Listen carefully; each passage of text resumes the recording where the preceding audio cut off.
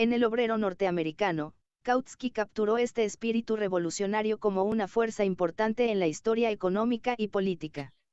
Respondiendo al acertijo del modelo de desarrollo de Rusia, concluyó que el espíritu revolucionario, tanto como causa y como efecto de particularidades históricas, era la fuerza decisiva a tener en cuenta para la revolución rusa. Asterisco asterisco asterisco. Prólogo a El obrero ruso y el norteamericano, de Kakautsky. Anatoly Lunacharsky. 1906.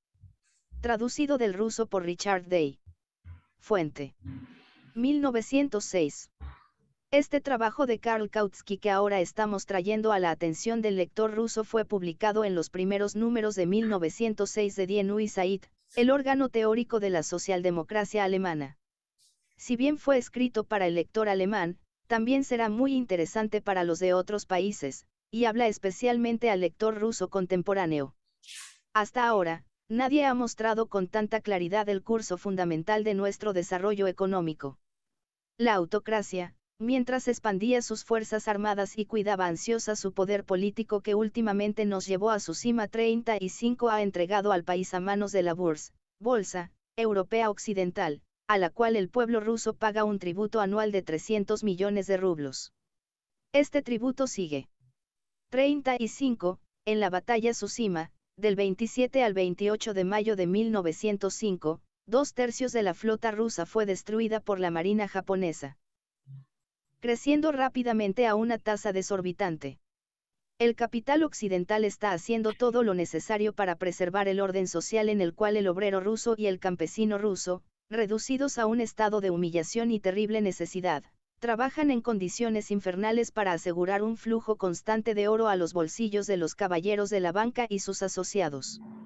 Rusia nunca se levantará por sí misma o pondrá fin al hambre, a su alta tasa de mortalidad, o a su insoportable pobreza, mientras siga acarreando este monstruoso peso sobre sus hombros. La bancarrota estatal es la verdadera, aunque aún desarticulada, consigna de las amplias masas en el movimiento de liberación. Pero, para terminar con la actividad chupasangre de la Bourse, primero es necesario derrocar a sus secuaces y fieles sirvientes que aún gobiernan Rusia.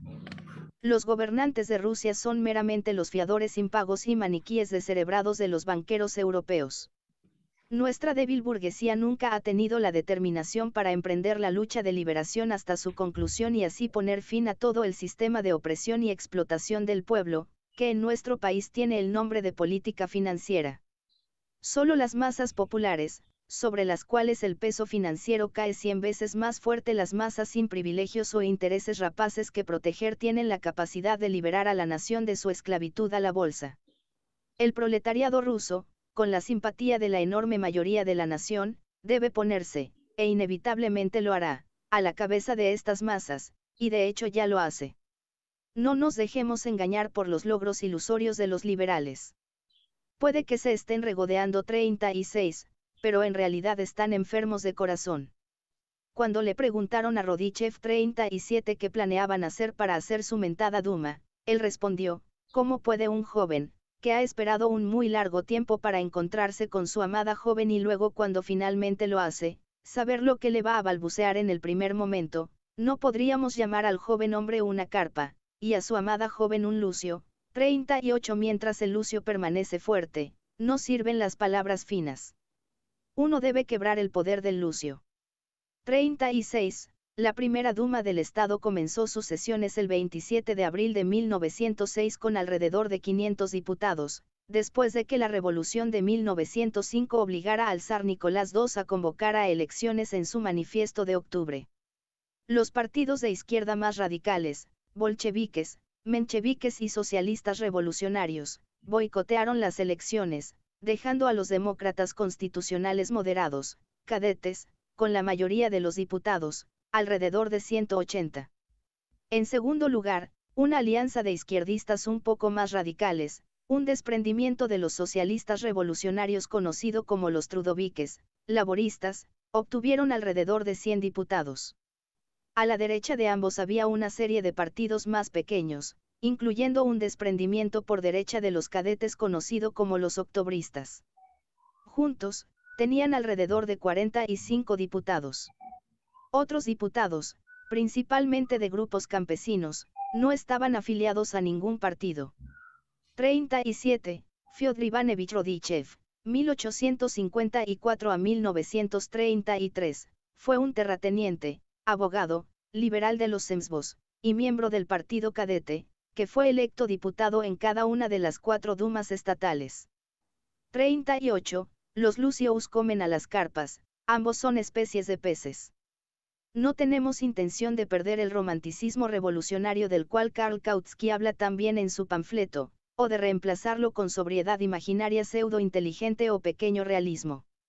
Debemos ver audazmente al futuro, discernir el carácter general del movimiento y las grandes oportunidades que presenta, y no tropezarnos con simples ladrillos en el camino o dejar que nos preocupen solo porque están en nuestro campo de visión no debemos tener nada que ver con cualquier revisionismo corto de vista. Se lo dejamos a nuestra tímida burguesía, el regañar a los obreros por su impracticabilidad y citar el ejemplo del práctico obrero alemán. Karl Kautsky llama al obrero alemán a aprender del romanticismo revolucionario de su hermano ruso. Las circunstancias políticas únicas que ponen al proletariado ruso en la primera línea como líder natural de la revolución burguesa también le dan una oportunidad única de tomar posiciones que son más beneficiosas para continuar la lucha y realizar sus ideales de clase.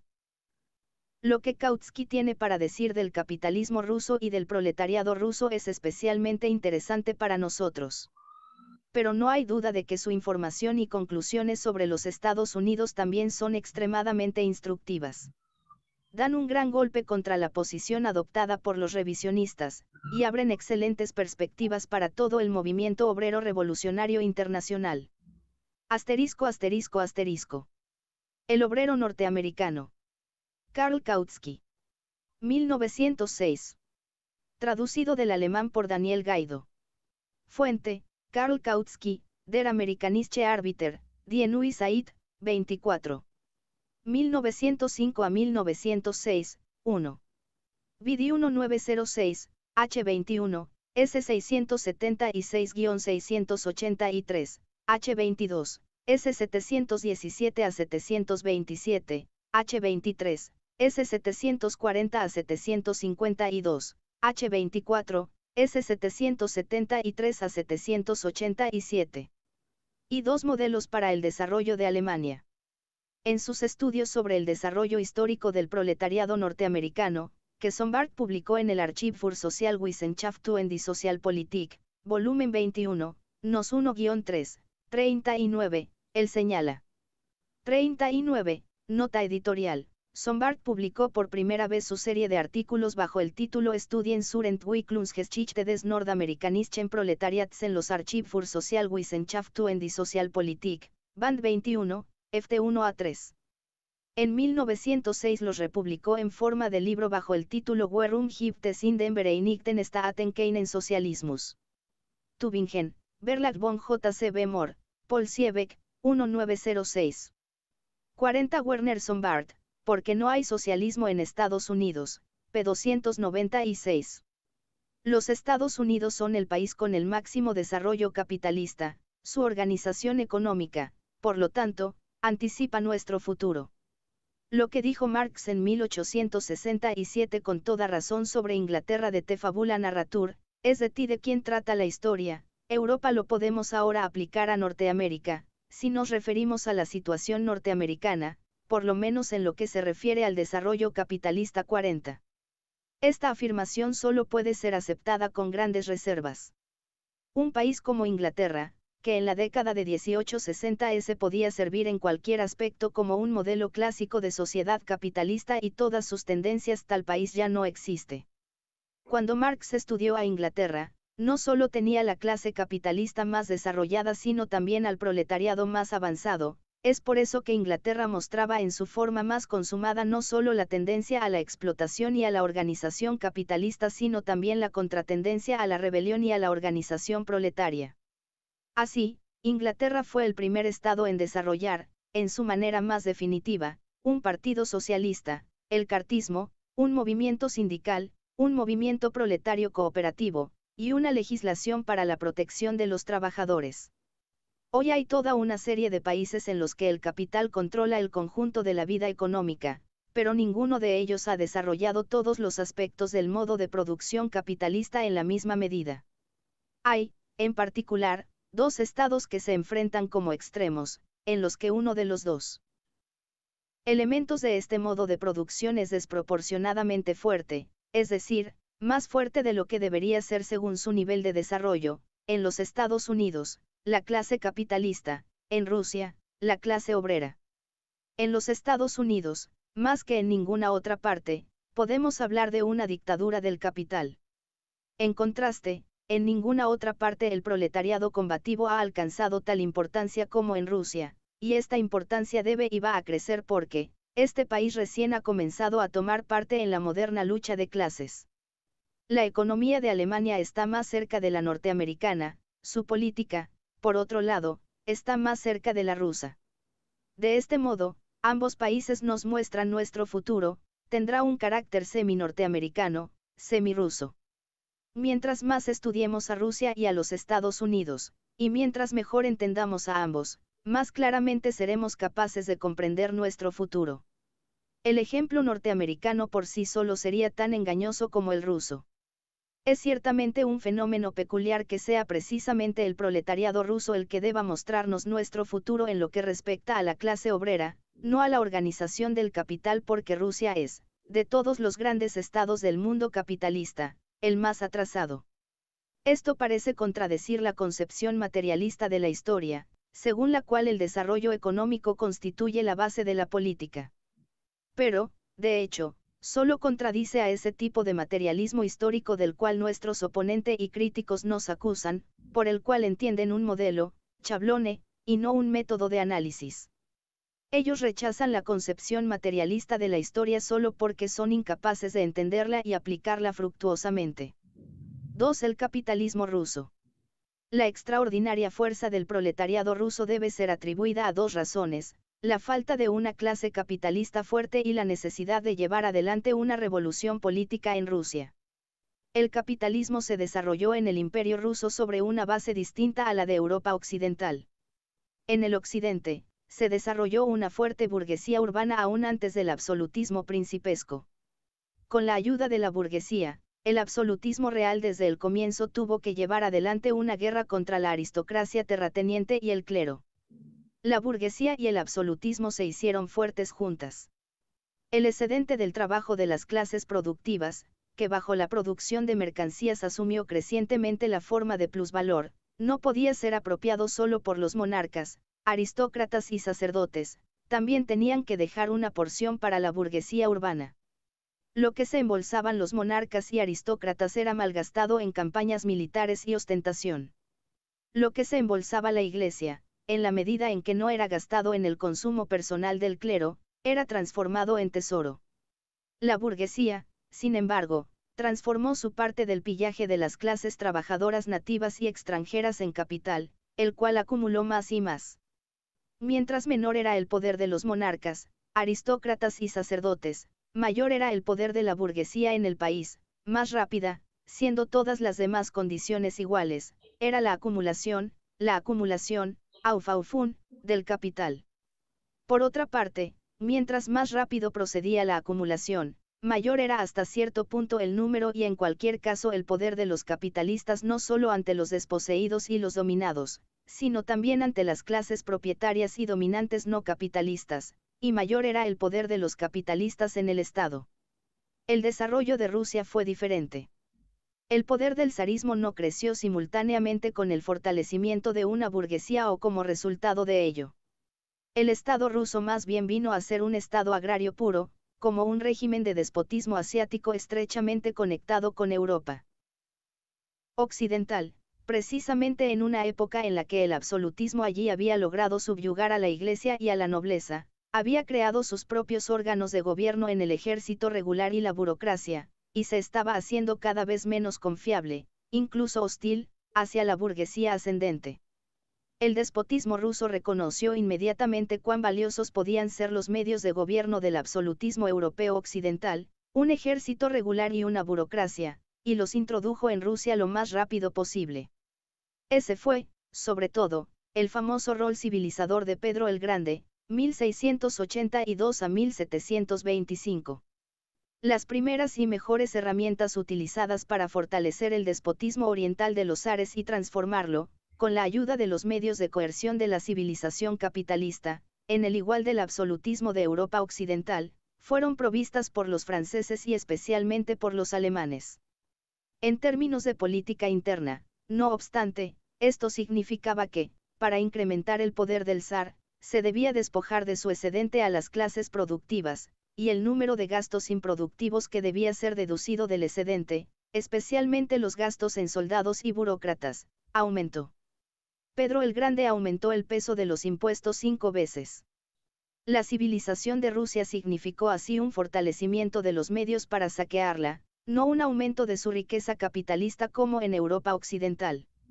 Una clase capitalista significativa como la burguesía de Europa Occidental no podía desarrollarse bajo estas circunstancias.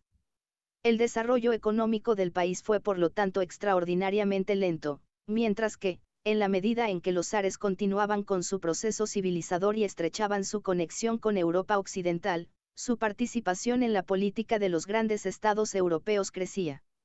El imperio ruso debía mantener el nivel de gasto armamentístico a la par de los estados capitalistas que crecían rápido, mientras que la distancia económica entre ellos aumentaba continuamente. El resultado fue un increíble despilfarro financiero ya en el siglo XVIII. Los dos métodos utilizados por los gobiernos de los países capitalistas para obtener dinero fueron empleados profusamente, préstamos y falsificación de moneda, la emisión de papel moneda irredimible no es otra cosa. Si el crédito era escaso y nadie quería prestar dinero, entonces se utilizaba la imprenta. Si el Estado encontraba acreedores, la fabricación de dinero falso podía detenerse por un tiempo. Si no había otra alternativa, entonces se intentaba una pequeña bancarrota estatal, como en 1843, cuando el viejo papel moneda fue sacado de circulación y reemplazado por uno nuevo con la salvedad, sin embargo, de que un rublo nuevo solo era recibido a cambio de tres billetes y medio del viejo rublo. La hipoteca del Estado creció así ininterrumpidamente. Es cierto que el crecimiento de la deuda nacional no es una particularidad rusa, y hay incluso algunos economistas burgueses que creen que la base de la prosperidad nacional es una gran deuda nacional. Bajo ciertas condiciones hay un grano de verdad en esta afirmación. El interés de la deuda nacional es de hecho un eterno pago de tributo del Estado a los capitalistas. Esto significa que el Estado explota a las clases productivas para incrementar el capital. El crecimiento de la deuda nacional significa así un crecimiento del proletariado por un lado y del capital por el otro. Si los capitalistas, con quienes el Estado está endeudado, residen dentro de sus propias fronteras, la deuda nacional puede convertirse en un medio para promover el desarrollo de la producción capitalista, cuyos elementos, proletarios y capitalistas, crecen a causa del pago de intereses. Esto empobrece al pueblo trabajador, pero enriquece a la clase capitalista y desarrolla la producción capitalista. Los efectos de la deuda nacional son, sin embargo, completamente diferentes cuando los acreedores estatales residen fuera del país. Los pagos de intereses sobre la deuda nacional son en este caso un constante drenaje de dinero al exterior. En la medida en que los pagos de intereses se convierten en capital, enriquecen a los países extranjeros, pero empobrecen al país endeudado. En estas condiciones, la deuda pública produce proletarios locales, pero solo capitalistas extranjeros. Eso es lo que sucedió en Turquía y, en menor medida, en el Imperio ruso. Hay, no obstante, una diferencia entre estos dos países. Turquía se ha vuelto tan indefensa que debe obedecer sumisamente los dictados de los extranjeros. Existe como un Estado independiente solo gracias a los celos entre las distintas potencias, ninguna de las cuales puede tener todo el botín para sí. Todas acuerdan, sin embargo, en saquear al desafortunado país y en forzar la entrada de sus productos a él, dificultando así el desarrollo de la industria local. A causa de esto, vemos en la economía turca, como en la rusa, una progresiva decadencia de la agricultura y un crecimiento en el número de proletarios, pero, en Turquía, estos proletarios no encuentran trabajo en la industria capitalista. Los pasivos entre ellos se vuelven mendigos, los más enérgicos se vuelven bandidos y rebeldes, que en Turquía nunca desaparecen, no importa a cuánto se ejecute. Pero Rusia no era tan indefensa como Turquía. Tan pronto como el gobierno ruso se dio cuenta del poder que la industria capitalista confiere al Estado, trató de promover el desarrollo industrial del país. Ciertamente no le faltaron proletarios, la tierra tenía millones de mendigos y campesinos buscando trabajo. Pero ¿dónde encontraría el capital necesario? Era imposible encontrarlo en Rusia. Se debía atraer al capital extranjero para construir ferrocarriles, excavar minas, erigir altos hornos, hilanderías y tejedurías, refinerías de azúcar, etc. Y, como el capital excedente en Europa Occidental, el plusvalor extraído de los trabajadores locales y las posesiones en el extranjero, había crecido tanto en los 1880s que no podía encontrar posibilidades de inversión en el mercado interior y estaba siendo enviado a alto riesgo a lugares tales como Portugal, Grecia, Turquía, Venezuela, ¿por qué no mandarlo a Rusia? Así, con mayoría de capital extranjero, se desarrolló una gran industria en Rusia, que creció con especial velocidad en las últimas dos décadas. Así se conformó una gran parte del proletariado ruso, a partir de lumpenproletarios y campesinos indigentes, transformándose en asalariados, convirtiéndose de mendigos y sirvientes tímidos y serviles en decididos luchadores revolucionarios pero este crecimiento de un fuerte proletariado combativo no fue correspondido por un crecimiento similarmente fuerte de la clase capitalista rusa. Estos hechos dieron a la lucha de clases del proletariado en el imperio de los zares un carácter totalmente peculiar. Cuando el proletariado ruso lucha contra el capital, lucha en gran parte contra los extranjeros, contra los explotadores que empobrecen y debilitan al conjunto de Rusia, que se apropian de todo el plusvalor que el país produce. El proletariado es así el campeón de los intereses comunes de la sociedad rusa. Por otra parte, el zar, con toda su parafernalia de soldados, cosacos y chinovniks, burócratas, aparece como el representante de los intereses de los extranjeros que explotan toda Rusia. El gobierno moderno es en todas partes un mero agente de los capitalistas, pero el absolutismo ruso es el agente del capital extranjero. Es el representante de los intereses de las finanzas europeas contra el pueblo ruso, al que saquea para poder entregarle obedientemente la parte del león del botín. Esa es, en un sentido, una de las fuentes de la fuerza del actual gobierno. Estos usureros internacionales saben que representante servil de sus intereses tienen en el absolutismo, y por lo tanto lo apoyan con todas sus fuerzas, aun cuando saben la clase de estafadores con la que están tratando pero precisamente por esta razón la población políticamente consciente de Rusia sabe muy bien que no puede escapar de este estado de pauperización y miseria sin derrocar al absolutismo, y como el país no tiene una clase capitalista fuerte capaz de oponerse a la política ruinosa del gobierno, la lucha por los intereses de toda Rusia cae sobre los hombros de la única clase moderna fuerte que posee, el proletariado industrial. De esta manera, los obreros rusos son capaces de ejercer una fuerte influencia política, y la lucha por la liberación del país. Del pulpo estrangulador del absolutismo se ha convertido en un duelo entre el zar y la clase obrera, un duelo en el que los campesinos brindan una indispensable ayuda, pero en el que no pueden de ningún modo jugar un rol dirigente. 3. Capital nativo y extranjero 41. 41. Ver los comentarios de Rudolf Ilferdin sobre este análisis penetrante en Ilferdin, El capital financiero, libro 5, sobre la política económica del capital financiero, capítulo 22, la exportación de capital y la lucha por el espacio económico, p. 431, nota 17. 42. Posiblemente una referencia al rol de los Junkers como oficiales del ejército prusiano.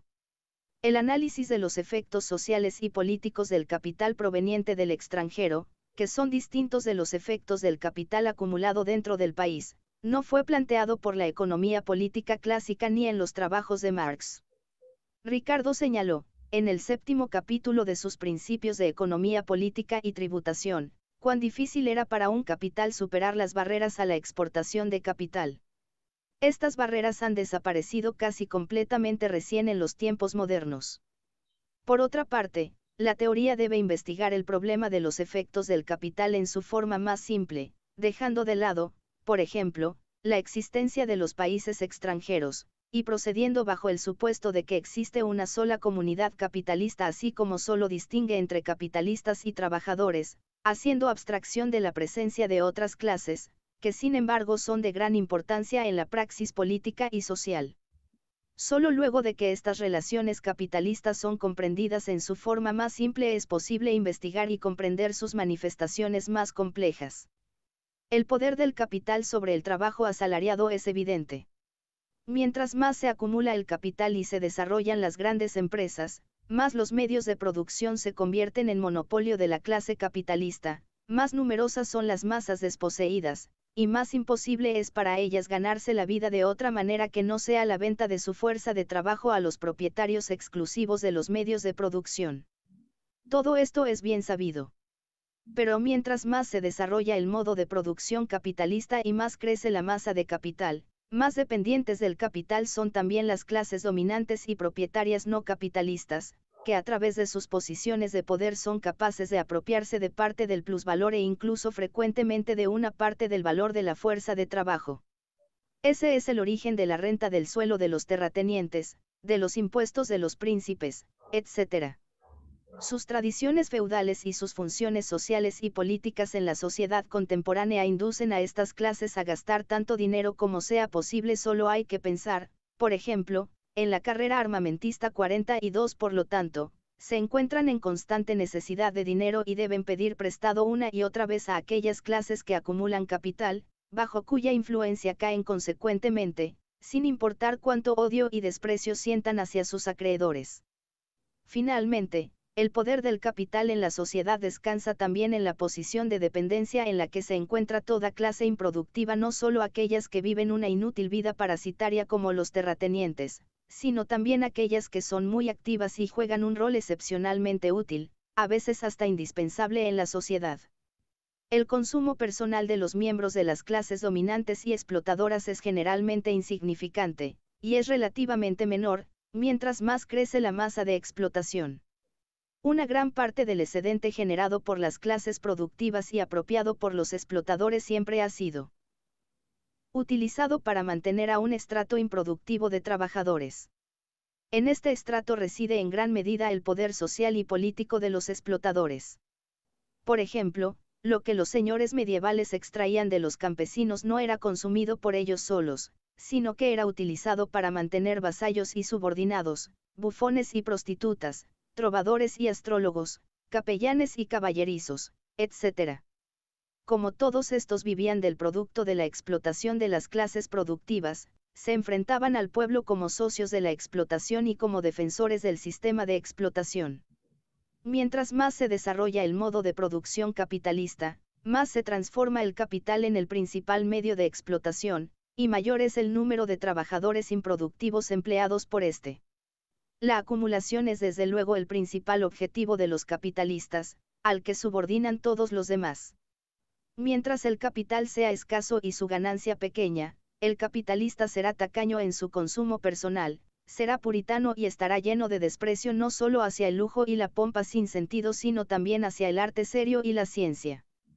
Pero en cuanto más crecen el capital y la tasa de explotación, tanto más fácil se hace para los capitalistas no solo dejar que la acumulación avance a toda velocidad, sino también incrementar ampliamente su consumo personal y alimentar un ejército de trabajadores improductivos, lacayos de todo tipo, instruidos y analfabetos, estéticos y antiestéticos, éticos y cínicos. Estos trabajadores improductivos juegan un papel crucial en la defensa de la explotación, en la cual ellos mismos tienen un interés indirecto. No solo disminuyen el número de trabajadores productivos, directamente explotados, de los luchadores contra la explotación.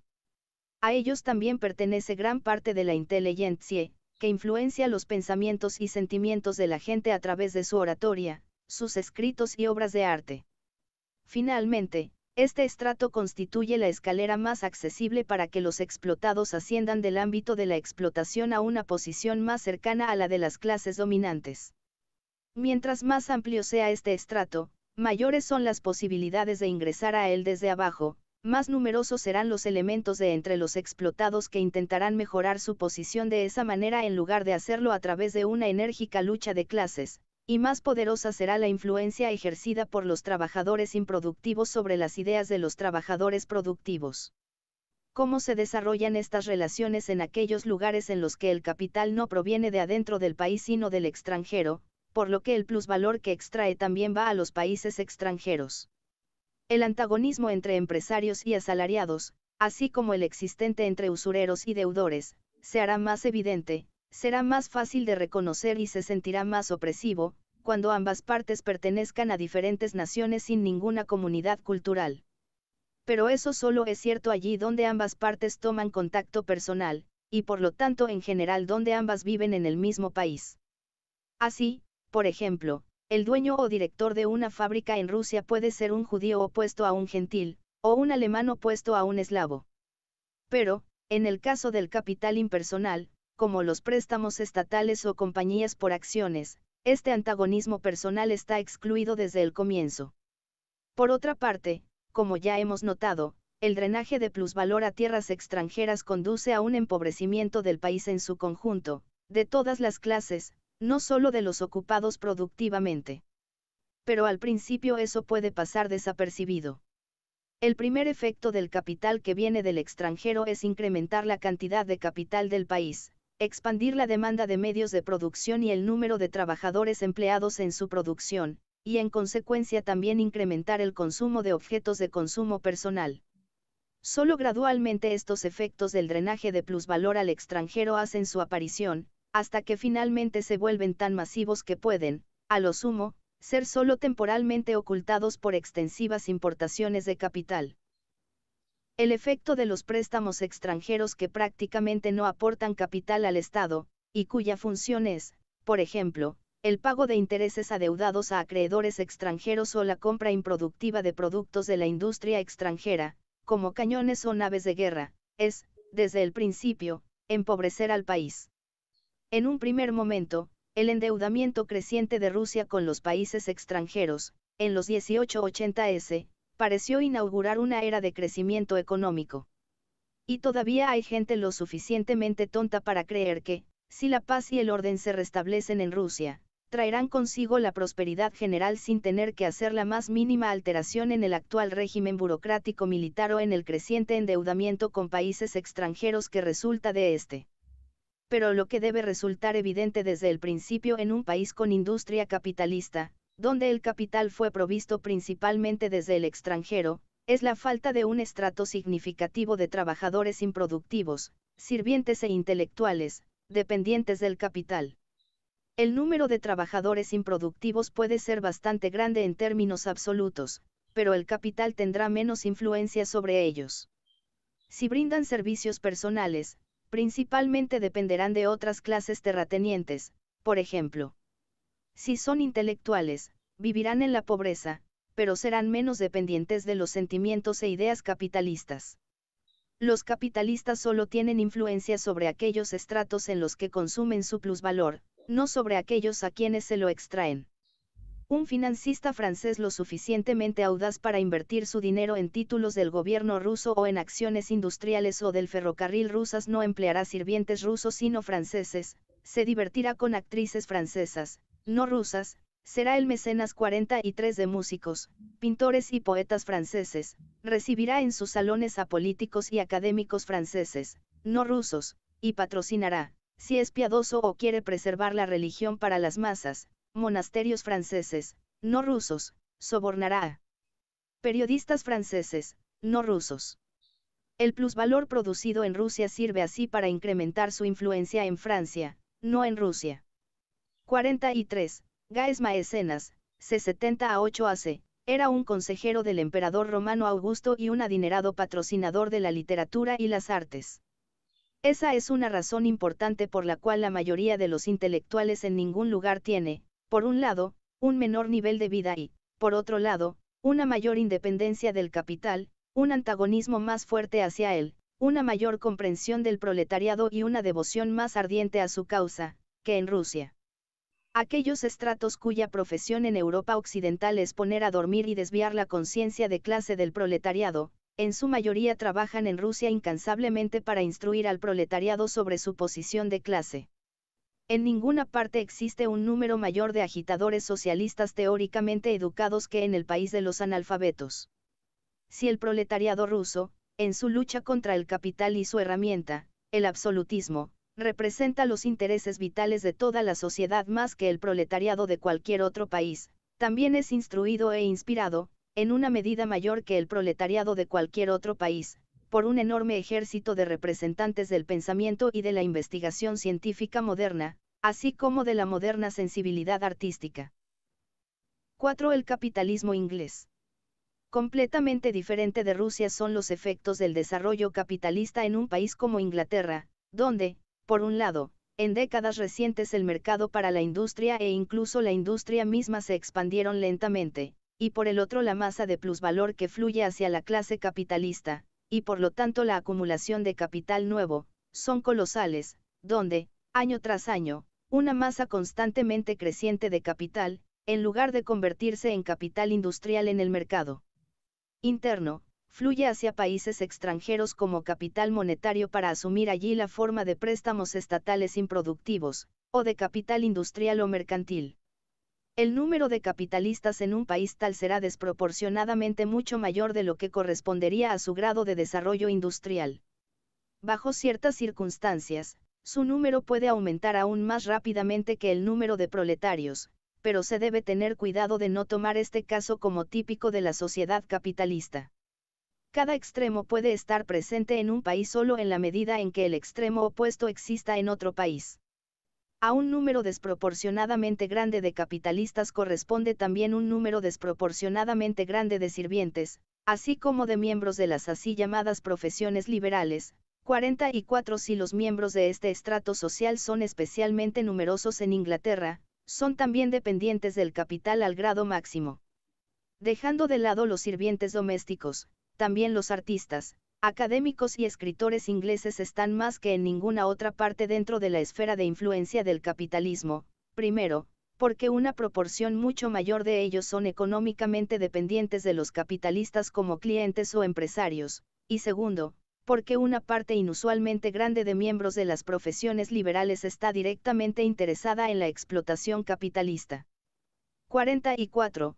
Kautsky brinda aquí estadísticas, que han sido omitidas, para ilustrar el punto. Esta y todas las tablas estadísticas siguientes son reproducidas en su totalidad en la versión inglesa del artículo de Kautsky publicado en la edición de noviembre de 2003 de la revista Historical Materialism. En contraposición al empresario industrial o comercial, el capitalista monetario, health capitalist, por ejemplo, el propietario de bonos del Estado o acciones está en la cómoda posición de virtualmente no tener que dedicar tiempo a la administración de su propiedad. Un banco demanda una cantidad mínima de trabajo administrativo por parte de sus dueños. Junto con los terratenientes, el capitalista monetario es la persona más ociosa y superflua de la sociedad capitalista. Eso le da la oportunidad, de la que usualmente hace uso extensivo, de matar el tiempo de la forma más estúpida posible. Emplear sus fortunas con inteligencia y buen gusto, como hicieron muchas aristocracias terratenientes en países de culturas antiguas como Atenas o Francia, está más allá de las capacidades de los capitalistas modernos, algo que los magnates financieros norteamericanos, en particular, lo han demostrado de la manera más palpable. Pero, donde el número de capitalistas monetarios es grande, siempre habrá algunos que utilicen su tiempo ocioso para emprender trabajos artísticos y científicos o que se interesen en su promoción. Además, el desarrollo del capital monetario impersonal invertido en acciones de bancos, ferrocarriles o industriales, y en bonos de la deuda pública, estatales, provinciales o municipales, crea la posibilidad de transformar hasta la cantidad más pequeña de dinero en capital dinero. Eso impresiona poco a los asalariados, porque su antagonismo hacia la clase capitalista que los explota es demasiado fuerte para ser superado por el interés que puedan recibir de sus magros ahorros. Pero sí tiene una fuerte influencia en los miembros de la inteligencia, que frecuentemente obtienen grandes sumas de dinero excedente, y que están mucho más cerca de la clase capitalista en sus estándares de vida y conexiones sociales, y usualmente no se sienten explotados por esta. Todas estas circunstancias significan que las ideas y los sentimientos capitalistas están altamente desarrollados en la inteligencia inglesa. Mientras que los intelectuales rusos aún preservan una fuerte sensibilidad comunista, por lo que, por ejemplo, compartir los excedentes monetarios con sus camaradas les parece algo natural, entre la inteligencia inglesa, así como entre la clase capitalista, predomina la aspiración a acumular todo excedente y convertirlo en capital. No es sorprendente que haya muy pocos intelectuales ingleses de quienes el proletariado pueda obtener un análisis sobre su posición de clase, sobre sus intereses y tareas de clase, más profundo que el análisis que pueda hacer por sí mismo en base a su experiencia cotidiana. Pero los sirvientes y miembros de la inteligencia no solo son más numerosos y más dependientes del capital en Inglaterra que en cualquier otro país, las grandes exportaciones de capital, que dan lugar a una fuerte afluencia de plusvalor hacia el país, también hacen la oposición del proletariado al sistema capitalista más débil de lo que correspondería al grado de desarrollo industrial de Inglaterra. Mientras que, en un país como Rusia o India, la explotación capitalista conduce a un constante empobrecimiento del país, en Inglaterra es un medio para enriquecer más y más al país, para acumular en él un botín constantemente creciente, que fue obtenido saqueando a todo el mundo pero también las clases desposeídas se benefician de ello en muchos respectos.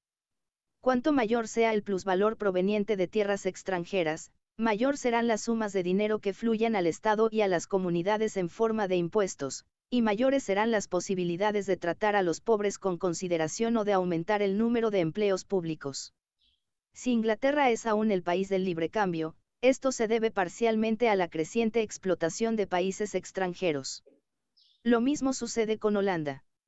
Las tarifas proteccionistas también son tributos financieros, impuestos al consumo de las grandes masas del pueblo.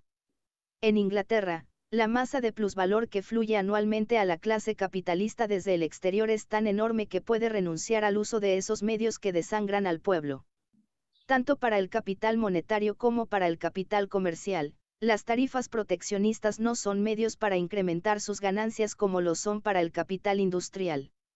Gracias a la preponderancia de las primeras dos formas de capital, Inglaterra mantiene su política de libre comercio y rechaza la moderna política proteccionista, que agudiza considerablemente los antagonismos de clase entre proletarios y capitalistas porque grava pesadamente a los primeros en beneficio de los segundos.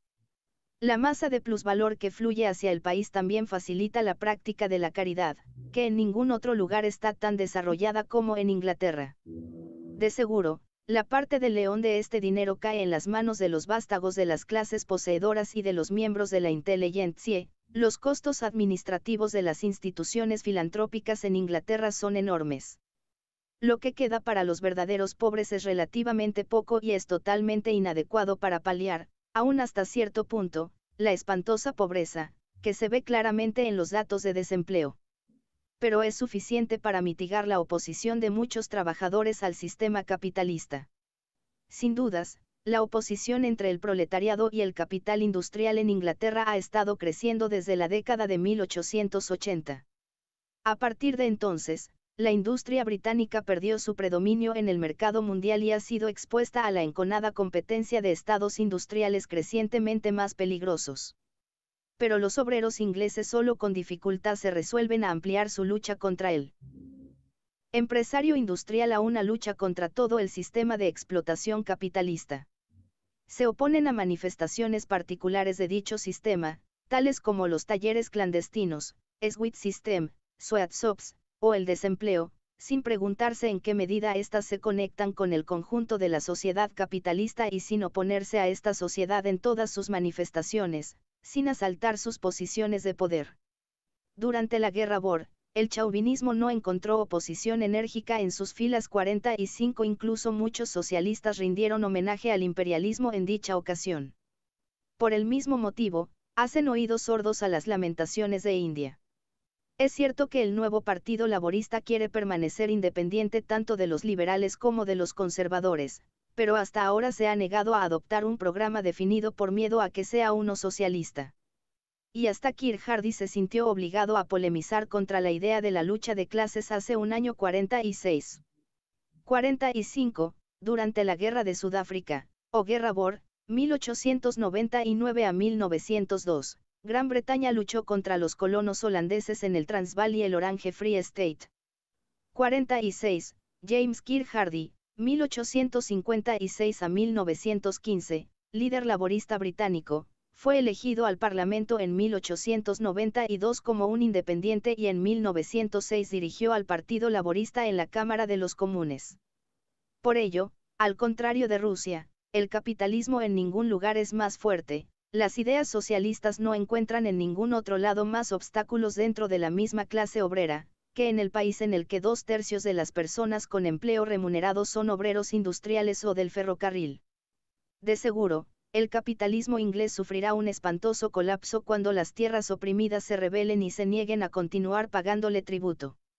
Si Inglaterra pierde India, Egipto y Sudáfrica, una masa de plusvalor que hoy va a enriquecer al país permanecerá en el extranjero, los obreros deberán pagar mayores impuestos, el capital industrial nuevamente tendrá la voz decisiva, y el antagonismo entre capitalistas y obreros se agudizará al grado más alto. Si esto no sucede incluso antes, el socialismo se volverá entonces inevitable en Inglaterra. Hasta entonces, sin embargo, librará una lucha más difícil allí que en países muchos más atrasados. V. El capitalismo en los Estados Unidos. Estados Unidos representa otro tipo especial de desarrollo. Como país capitalista no es más antiguo que Rusia. Según Brice, en el periodo entre 1830 y 1840 en los Estados Unidos había pocas grandes fortunas y no había pobreza. En 1845, por primera vez hubo en Filadelfia 10 millonarios, en Nueva York en 1855 solo había 28. Fue la Guerra Civil de 1861 a 65 la que trajo de repente a los capitalistas al poder en los Estados Unidos. Desde entonces, el capitalismo se ha desarrollado con una velocidad tremenda. La acumulación y la concentración de capital han hecho rápidos progresos. En 1892 había, según el informe de Cleveland Maffitt en Will Sears Magazine, 200 millonarios en Filadelfia y 2.000 en Nueva York. A pesar de su juventud, ya hoy día los Estados Unidos están muy por delante de los demás países en lo tocante al poder del capital y al nivel de acumulación del capital, dice Sombart en su ya mencionado trabajo.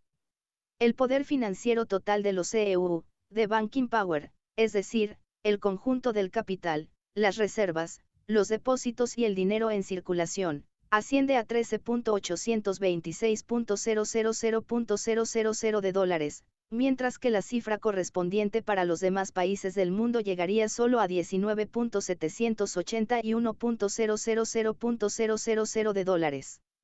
No nos deben sorprender las sumas de capital que se han invertido en la industria en los últimos 20 años. Según las estadísticas oficiales, el capital invertido en manufactures era 1880 igual a 2.790.270 y 2.606 dólares. 1890 igual a 6.525.050.759 dólares. 1900 igual a 9.831.486.547 dólares. 47 Werner Sombart, porque no hay socialismo en Estados Unidos, p280. 48, John Moody, The Truth About the Trusts, A Description and Analysis of the American Trust Movement, New York, Moody Publishing Company, 1904. 49 Werner Sombart, Porque no hay socialismo en Estados Unidos, pp. 280 a 281. 50. Olgi Martin Saimens, Class Struggles in America, Second Edition, Chicago, Charles H. Kerand Company, 1906, p. 116. Una versión alemana fue publicada en 1909 como suplemento de Die Neue Zeit, Olgi Martin Saimens, Klassenkampf in der Geschichte Amerikes, Übersetzte von BL, Die Neue Zeit, 28. JG, 1. Vidi 1909, Ergansunshefte, Heft 7. Cuando Macmillan publicó una edición ampliada, de 320 páginas, dos años más tarde, bajo el título Social Forces en American History, Kautsky la reseñó de la siguiente manera, No es necesario ofrecer una descripción de los contenidos de este libro a los lectores de Die Said. Ya hemos publicado como suplemento, en 1909, un trabajo del camarada Saimens titulado Luchas de clases en los Estados Unidos, que contenía las principales ideas del presente trabajo. Ahora ha expandido y pulido aquel corto análisis, haciéndolo más claro y persuasivo. Es de esperar que también aparezca en alemán. Es valioso como ilustración de lo fructífero de la concepción materialista de la historia, y constituye una nueva piedra angular para la construcción de una sola historia universal materialista, que gradualmente está llegando a ser completada.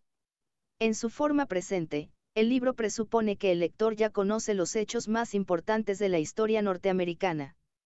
Pero no será difícil para el lector alemán agregar por sí mismo la información necesaria recibirán con eso un panorama bastante claro de la historia de los Estados Unidos. Karl Kautsky, A.M. Siemens, Social Forces in American History, Die Neue Zeit, 1912, volumen 30, número 2, p. 631. La apreciación de Kautsky no debe ser interpretada como un respaldo incondicional al libro de Siemens, que para el lector contemporáneo está claramente marcado por prejuicios racistas y populistas especialmente en el análisis de la guerra civil y la reconstrucción. La concentración de capital sale a la luz claramente en la magnitud de los trusts norteamericanos. Sombart da un panorama de estos basado en el trabajo de Moody sobre los trusts, publicado en 190.448, y sintetiza sus resultados en estas palabras. Sumando todas estas corporaciones gigantescas, que dan entidad a la mayor parte de la vida económica norteamericana, se llega a la cifra enorme de 8.664 plantas, controladas, y a un capital nominal de 20.379 millones de dólares.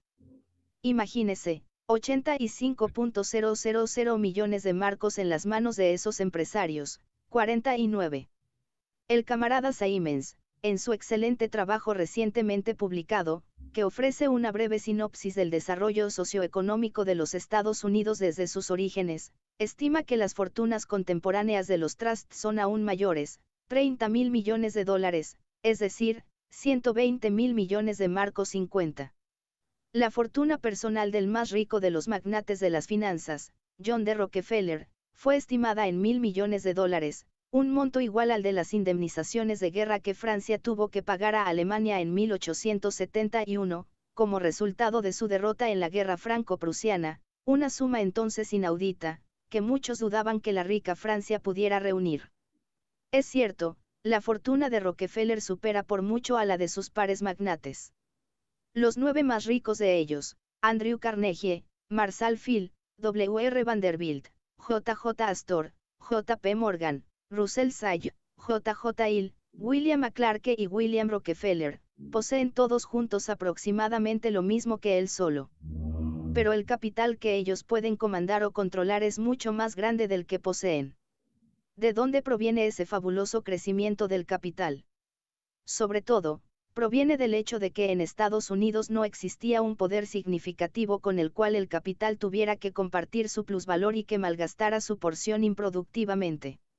Gracias a las enormes extensiones de tierra desocupada 51, hasta hace poco no había renta de la tierra de ninguna importancia en los Estados Unidos, no existía una clase de terratenientes capaces de apropiarse de una parte del plusvalor para despilfarrarla de la manera en que lo hacían los terratenientes feudales europeos.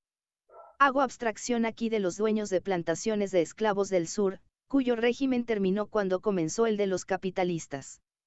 Además, Estados Unidos estaba en la cómoda posición de estar tan lejos de los asuntos europeos y tan libre de la amenaza de cualquier invasión que no tenía que sacrificar mucho para el militarismo. Su marina y su ejército eran pequeños. El ejército norteamericano en 1870 solo tenía 35.000 hombres, en 1903, 60.000. Este ejército, compuesto de conscriptos, era relativamente caro, pero el país se salvó de la sangría causada en Europa por la ocupación improductiva de tantos millones de sus mejores trabajadores. Solamente en el imperio alemán hay actualmente más de 600.000 hombres que son retirados del proceso de producción de esa manera. Si suponemos que cada uno de ellos podría haber producido un valor anual de 2.000 marcos, salarios y plusvalor en sus diferentes formas, eso significa que el pueblo alemán pierde anualmente como resultado del militarismo, junto con los miles de millones que cuesta el ejército, otros mil millones de marcos adicionales en capacidad productiva despilfarrada. 51. Desocupada después del genocidio de la población nativa, Verdi Brown, Enterrad mi corazón en Wounded Knee, Historia India del Oeste Americano, Turner Publicaciones SL, 2012. Si agregamos a esto la suma, sobre la cual virtualmente no existen datos estadísticos, que cada año es malgastada improductivamente por los señores feudales terratenientes como renta del suelo, la renta del suelo que fluye cada año a los terratenientes en Inglaterra fue estimada en 300 millones de libras esterlinas, es decir, 6.000 millones de marcos, obtenemos solo en Alemania aunque lo mismo sucede en los otros estados europeos una enorme suma que es sustraída de la economía cada año. Debido a la existencia de la propiedad privada de la tierra y al militarismo, y que podría sido empleada para aumentar el consumo personal de la clase obrera o bien en la acumulación de nuevo capital. No sorprende que, en los Estados Unidos, donde lastres de este tipo no existían, el capital haya crecido mucho más rápido que en Europa, y que Europa fuera cada vez más superada por los Estados Unidos. Pero, en contraposición a Inglaterra, este capital se quedó en el país y sirvió principalmente al desarrollo de la industria, ya que mientras la expansión del mercado doméstico para la industria inglesa se desaceleraba constantemente, el mercado para la industria norteamericana crecía. Esto se debió, una vez más, a la cantidad de tierra libre que aún no había sido apropiada por propietarios privados, así como a la insignificancia de las cargas que pesaban sobre los agricultores norteamericanos. Gracias a las altas tasas de crecimiento demográfico, así como a la inmigración, solo se tenía que hacer que estas tierras fueran abiertas al cultivo para incrementar rápidamente el número de granjas y por lo tanto el tamaño del mercado interno. Esto se hizo a través de la construcción de ferrocarriles en páramos desiertos.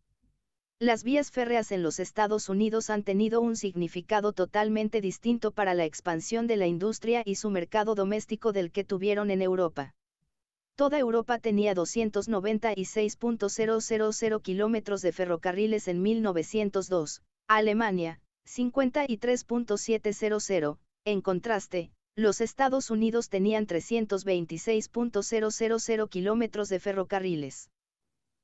El número de personas con trabajo remunerado ocupadas en la agricultura creció en los Estados Unidos, de casi 6 millones en 1870 a más de 10 millones en 1900. En Inglaterra, en cambio, decreció, como también ha sucedido recientemente en Alemania. 52. 52. Se omitieron las estadísticas. La población agrícola de los Estados Unidos por lo tanto creció de una manera completamente distinta que la de Europa. Además, no solo su tasa de crecimiento sino también su capacidad de consumo se diferenciaba de la población agrícola europea. El agricultor, farmer, norteamericano es totalmente diferente del trabajador agrícola inglés, así como del pequeño campesino ruso o incluso del pequeño campesino alemán. Hasta ahora, él tenía usualmente a su disposición al menos tanta tierra como pudiera cultivar, y del valor que producía usualmente no tenía que pagar renta de la tierra, ni en forma de renta de arrendamiento, patchsins, ni de intereses hipotecarios, hasta hace solo dos décadas. En gran medida, eso sigue siendo cierto aún hoy.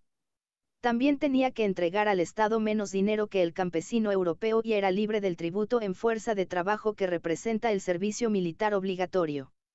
Así, la mayoría del valor que producía se quedaba con él, y le servía ya sea para su consumo personal o para renovar y mejorar sus aparatos técnicos, en ambos casos proveía un mercado para la industria.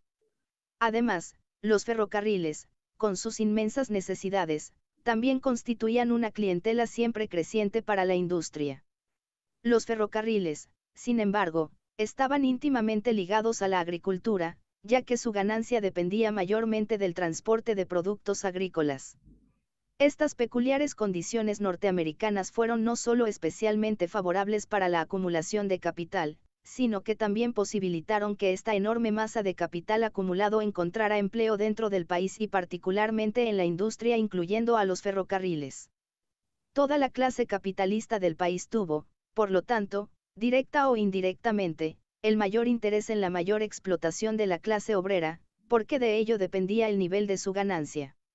Estaba más unida y era más hostil hacia la clase obrera que la clase capitalista de Inglaterra, donde el capital monetario y mercantil a menudo tienen intereses diferentes de los del capital industrial, y donde los capitalistas en parte obtienen sus ganancias de fuentes que no son la explotación de los obreros locales. Vi las divisiones nacionales de los obreros norteamericanos. Si los capitalistas en los Estados Unidos son una clase mucho más homogénea que en Inglaterra, en ningún lugar es la clase obrera más heterogénea que en los Estados Unidos. Eso es también un resultado del excedente de tierra que hasta hace poco existía en la Unión. Sin grandes gastos, cada norteamericano, blanco, saludable con algún conocimiento de agricultura era capaz de convertirse en un agricultor independiente y así evitar ser explotado como un trabajador asalariado. La población nativa norteamericana proporcionaba por lo tanto pocos trabajadores, y dado que tanto el capital como el mercado para la industria crecían rápidamente, la demanda de asalariados era grande mientras que la oferta entre las filas de la población nativa era reducida. Desde el comienzo, los salarios de los obreros norteamericanos debían ser altos porque las relaciones sociales descriptas arriba permitían a los agricultores producir y quedarse para sí con una masa considerable de productos. En su análisis del valor de la fuerza de trabajo, Marx remarcó en el Capital que por oposición a las demás mercancías, la determinación del valor de la fuerza de trabajo encierra un elemento histórico y moral 53 pero este elemento tiene una base natural, y es el rendimiento promedio de la pequeña propiedad campesina. El pequeño campesinado es el gran proveedor de fuerza de trabajo adicional para los capitalistas, produce en la mayoría de los países una numerosa progenie que no puede encontrar su sustento en la agricultura y termina en la industria, por lo que los salarios para el trabajo industrial simple, no calificado, están determinados por los estándares de vida de los hijos de los pequeños campesinos que fluyen hacia la industria o se convierten en la mano de obra agrícola de los campesinos ricos. El trabajo de los campesinos y de los jornaleros agrícolas no es para nada simple. Todo lo contrario, es muy complicado y requiere un largo aprendizaje. Pero, para la industria, este aprendizaje es inútil. En la industria, los asalariados provenientes de la agricultura son, por regla general, empleados al principio solo como trabajadores no calificados. 53. Karl Marx, El Capital, tomo primero, sección segunda, capítulo cuarto, 3 Compra y venta de la fuerza de trabajo. Con elemento histórico y moral Marx se refiere a los estándares de vida convencionalmente aceptados, los cuales varían según la época y el lugar.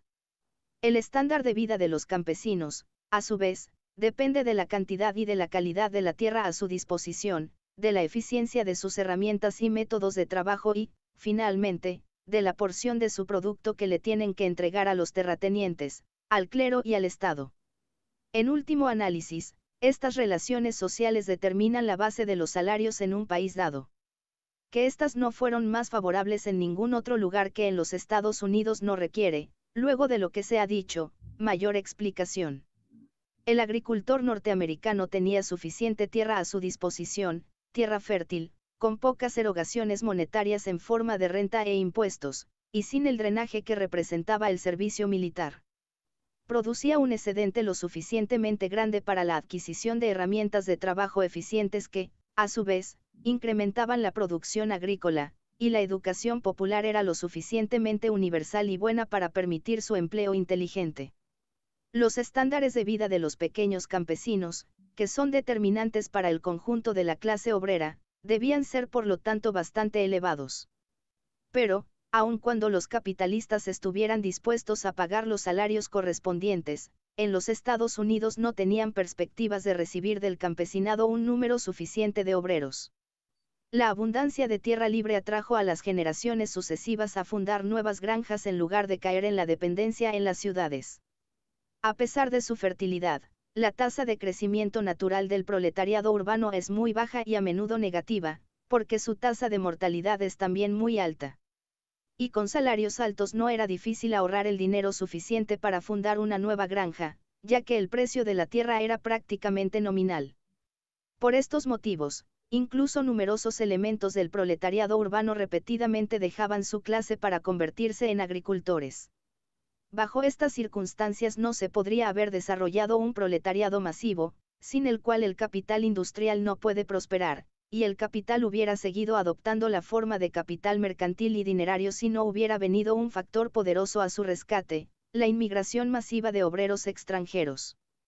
Por un lado, los dueños de plantaciones del sur importaron compulsivamente trabajo esclavo de África, por el otro, llegaron trabajadores en gran número por su propia voluntad desde Europa, al principio especialmente de Inglaterra, Irlanda y Alemania, luego de Italia, Austria y Rusia. Eran atraídos por la perspectiva de convertirse en agricultores independientes o de ganar altos salarios en las ciudades. El primer grupo incrementó el número de agricultores y por lo tanto el mercado para la industria y la clientela para los ferrocarriles. El segundo, falto de medios o de conocimientos agrícolas, proveyó al capital industrial de la necesaria fuerza de trabajo.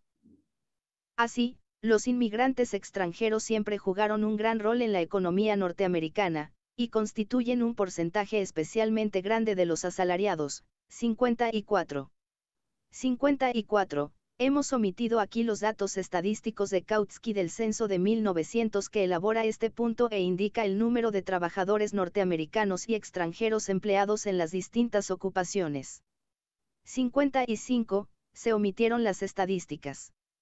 Consecuentemente, los asalariados blancos de parentesco norteamericano, que a fin de abreviar llamaremos angloamericanos, no representan ni la mitad del número total de personas empleadas como asalariadas.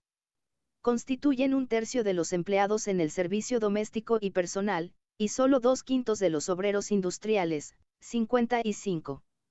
Los datos muestran claramente que los blancos de parentesco norteamericano solo están representados débilmente en el proletariado industrial. En muchas ramas importantes de la industria constituyen solo un cuarto, y a veces tan solo un quinto o un décimo de los asalariados. Es especialmente pequeño el número de angloamericanos en Nueva York. De 1.102.471 asalariados, solo 195.205 son blancos de parentesco americano, de 419.594 obreros industriales, solo 52.827, de 55.095 obreros textiles, solo 580.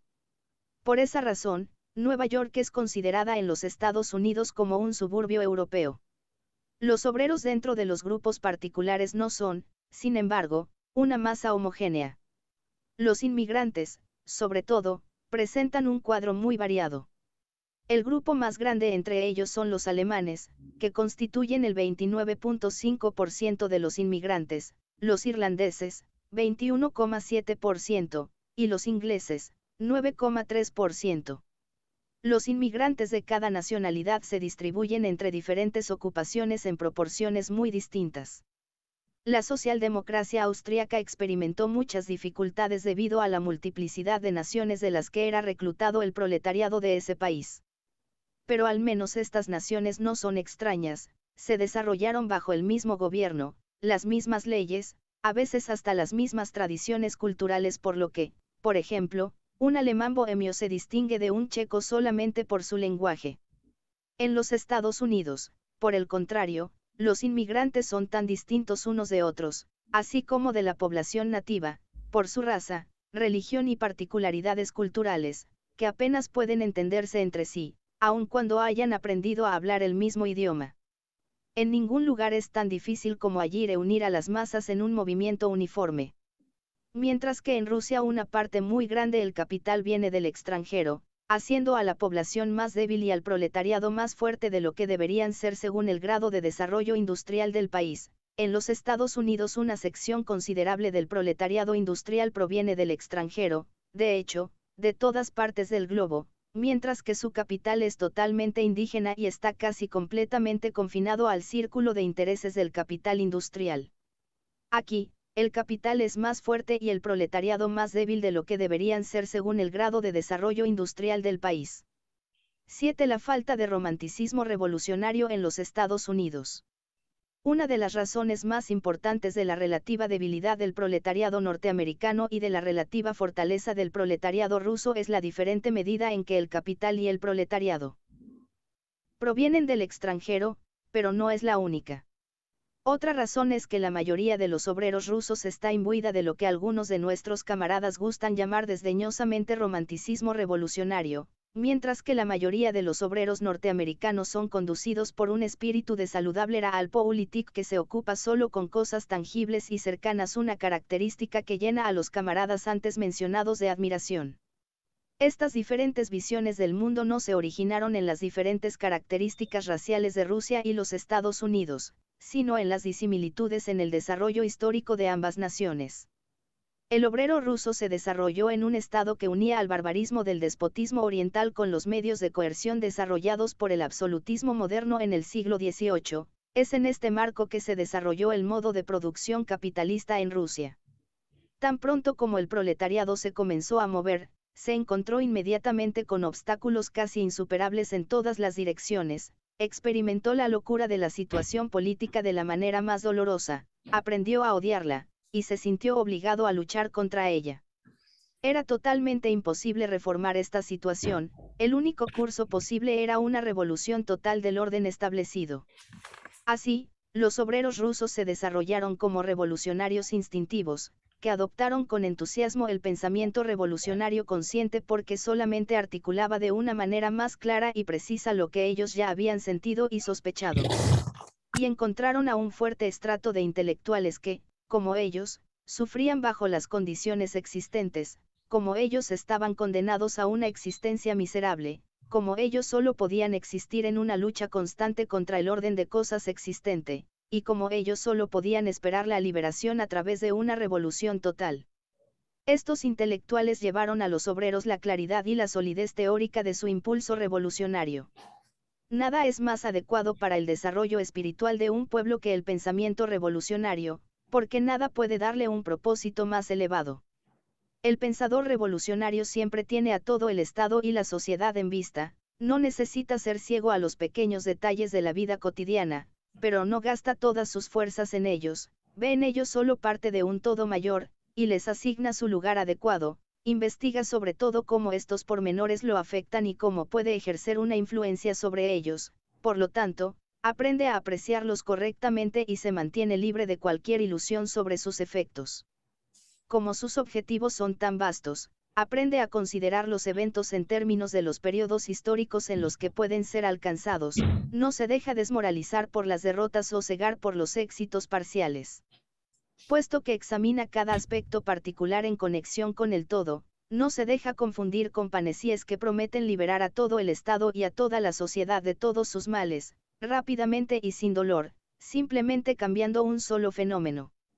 Finalmente, porque tiene ante sus ojos al conjunto de la sociedad, reconoce más claramente las grandes líneas de demarcación que separan a las distintas clases, a pesar de los puntos de contacto particulares, comprende el significado y los problemas de la lucha de clases más claramente y es capaz de infundir mayor resolución y unidad de propósito a las luchas de su propia clase.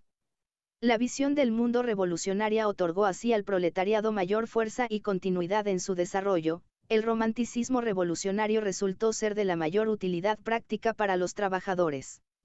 Es sobre todo gracias a él que los obreros industriales rusos, desorganizados, incultos, y privados de derechos democráticos, fueron capaces, en un país predominantemente campesino, de tener en jaque al régimen absolutista ante el que todas las clases poseedoras se humillaban, no solo en Rusia sino también en Europa. Las cosas son diferentes en los Estados Unidos. Si Rusia es el país menos libre, los Estados Unidos son el país más libre de todo el mundo capitalista, más libre aún que Inglaterra y Suiza, donde la aristocracia medieval hundió fuertes raíces y donde, aún en el siglo XIX, la igualdad política y el derecho de asociación debieron ser obtenidos a través de duras luchas. Los estados norteños de la Unión, fundados por campesinos y fugitivos pequeño-burgueses durante el periodo de las guerras religiosas que siguió a la Reforma, soportaron por largo tiempo la carga de las tradiciones europeas, pero eventualmente desarrollaron, en correspondencia con sus condiciones económicas, constituciones que otorgaban la mayor libertad e igualdad, para los colonos blancos. y las relaciones sociales prevalecientes, sobre todo la existencia de una reserva inagotable de tierra que hizo a este primer y más importante medio de producción accesible a todos, por un largo tiempo evitaron la formación de un proletariado masivo y aseguraron que esta libertad e igualdad no existieran solo en el papel. La escasez de personas educadas abrió las puertas de la administración estatal, la práctica del derecho y el periodismo, en pocas palabras, los dominios más importantes de la inteligencia, a todo ciudadano intelectualmente enérgico, el cual podía adquirir sin grandes dificultades los conocimientos necesarios para cumplir estos roles. Eso se hizo relativamente más fácil a través del sistema popular de educación, que era universal y muy bueno. Bajo estas condiciones, no se podía desarrollar una aristocracia intelectual, y menos aún una burocracia estatal, porque el partido momentáneamente en el poder, que cambiaba frecuentemente, disponía de los cargos públicos. Todo trabajador inteligente, no importa de qué estrato social proviniera, podía aspirar a ascender a una posición más elevada o al menos a elevarse por encima de las filas de los explotados. Así, por un largo tiempo, faltaron todas las condiciones para sugerir a los explotados la necesidad de una transformación decisiva de las instituciones del Estado, hasta las mismas clases explotadas, como fenómeno de masas, faltaban y la mentalidad que surgió de estas condiciones ha seguido existiendo hasta el día de hoy. Es cierto que, mientras tanto, un proletariado fuerte y la clase capitalista más fuerte del mundo han aparecido en los Estados Unidos, pero, a pesar de ello, hasta el día de hoy la masa del pueblo puede ser dividida según sus sentimientos, no entre capitalistas y proletarios, sino entre aquellos que ya son capitalistas y quienes quieren convertirse en tales. Por supuesto, en los Estados Unidos de hecho, especialmente en los Estados Unidos también existe entre las dos clases el más profundo antagonismo de intereses. Pero, durante todo el curso de su desarrollo histórico, el obrero norteamericano nunca, hasta ahora, se ha visto forzado a cuestionar y oponerse a la totalidad del orden social existente. Siempre se pone en contra de instituciones particulares que lo irritan. Cualquier análisis del origen de este fenómeno particular, o de su conexión con la totalidad del organismo político y social, aparece ante él como una cavilación ociosa. En su desdén por cualquier teoría, nuestros practiquers 56 podrían encontrar la verdadera felicidad. 56. Practiquer, una referencia a los revisionistas prácticos sindicalistas con quienes Rosa Luxemburg y Kautsky libraron feroces polémicas en esa época. La inteligencia norteamericana fortalece esta visión del mundo de los obreros. Mientras que en Rusia la inteligencia, debido a su posición social, se convirtió en una agencia indispensable a través de la cual la conciencia revolucionaria fue transmitida al proletariado, al que se asemejaba en tantos aspectos. En los Estados Unidos la inteligencia representaba el vínculo conector entre el proletariado y la clase capitalista. Muchos proletarios ingresaban a la política, al periodismo, y a las profesiones legales, que, dada la vastedad del país, constituyen una fuente de enriquecimiento, escaleras por las cuales una persona puede escapar de las filas de los pobres y convertirse en parte de la clase capitalista. La inteligencia norteamericana está por lo tanto completamente dominada por el deseo de hacerse rica e imbuida del más inescrupuloso capitalismo espiritual. De esta inteligencia, el obrero no puede recibir ninguna clarificación sobre sus intereses y las tareas históricas de su clase. Los intelectuales norteamericanos mismos no saben nada sobre estos asuntos y, cuando saben, lo esconden cuidadosamente. Las condiciones en los Estados Unidos son por lo tanto muy desfavorables para el desarrollo de una conciencia de clase proletaria resuelta y para el planteamiento de objetivos que impliquen la transformación de toda la sociedad. Estas circunstancias no zanjan, por supuesto, la oposición de intereses entre capital y trabajo. De hecho, esta es quizás más evidente hoy en los Estados Unidos que en Europa, ya que los capitalistas norteamericanos persiguen sus intereses de la manera más despiadada, al no sentirse obstaculizados por ninguna tradición pequeño burguesa o ideológica, y los obreros norteamericanos, gracias a las tradiciones democráticas del país, asimismo luchan de la manera más determinada y resuelta pero estos numerosos conflictos en general se circunscriben a demandas momentáneas, y en la medida en que éstas implican objetivos más profundos, son en general objetivos aislados por medio de los cuales los trabajadores esperan defenderse de algún oponente particular o corregir algún mal particular en el Estado o en la sociedad, sin transformarlos radicalmente. El punto principal, sin embargo, es que estos objetivos algo más profundos también deben ser prácticos, es decir, alcanzables en el corto plazo y dentro del marco de las relaciones sociales existentes ya que el norteamericano, ya sea capitalista u obrero, es un realpolitik en el sentido capitalista de la palabra.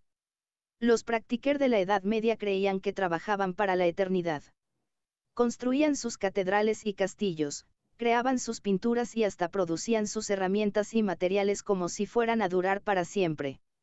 Del mismo modo, establecieron sus organizaciones urbanas y políticas creyendo que durarían eternamente.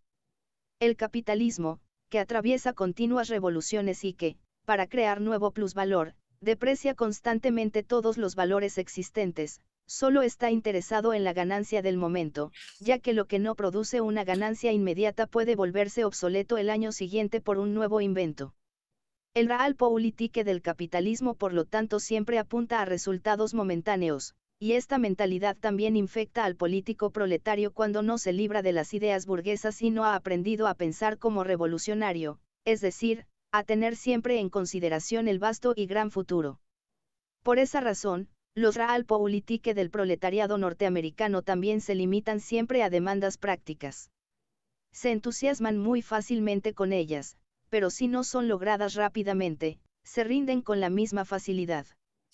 Tales demandas particulares siempre encuentran apoyo entre políticos burgueses aislados, porque la oposición irreconciliable entre capitalistas y obreros se vuelve evidente, no en las demandas particulares del momento del proletariado, sino en su esfuerzo colectivo por expropiar a la clase capitalista. Las demandas aisladas y momentáneas del proletariado, como la mitigación del desempleo, la limitación del poder de los trusts, una legislación protectora para los trabajadores, etc., siempre encontrarán el apoyo de muchos políticos burgueses, hasta de aquellos que son decisivamente hostiles a la lucha de clases revolucionaria aunque pueda verse como un fortalecimiento del poder del proletariado por elementos burgueses, y por lo tanto como un indicio de los méritos del Realpolitik, este no es para nada el caso. Una demanda aislada no solo rara vez interesa a todo el proletariado y es por ende incapaz de unificar todas sus fuerzas.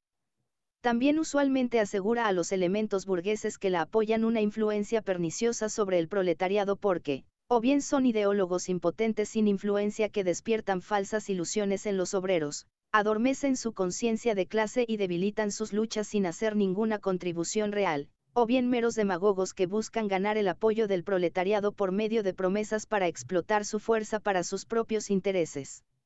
Así, vemos que los movimientos populares de reforma en los Estados Unidos solo se crean alrededor de demandas particulares, a menudo de la naturaleza más fraudulenta, por ejemplo, los movimientos que prometían liberar a las clases oprimidas emitiendo papel moneda o acuñando monedas de plata, el movimiento del dinero barato, o reformando el sistema fiscal, el movimiento del impuesto único sobre la renta de la tierra de Henry George. Estos movimientos se desarrollaron de cuando en cuando muy rápidamente y colapsaron aún más rápidamente, y no tuvieron otro efecto que servir como trampolines para charlatanes y estafadores.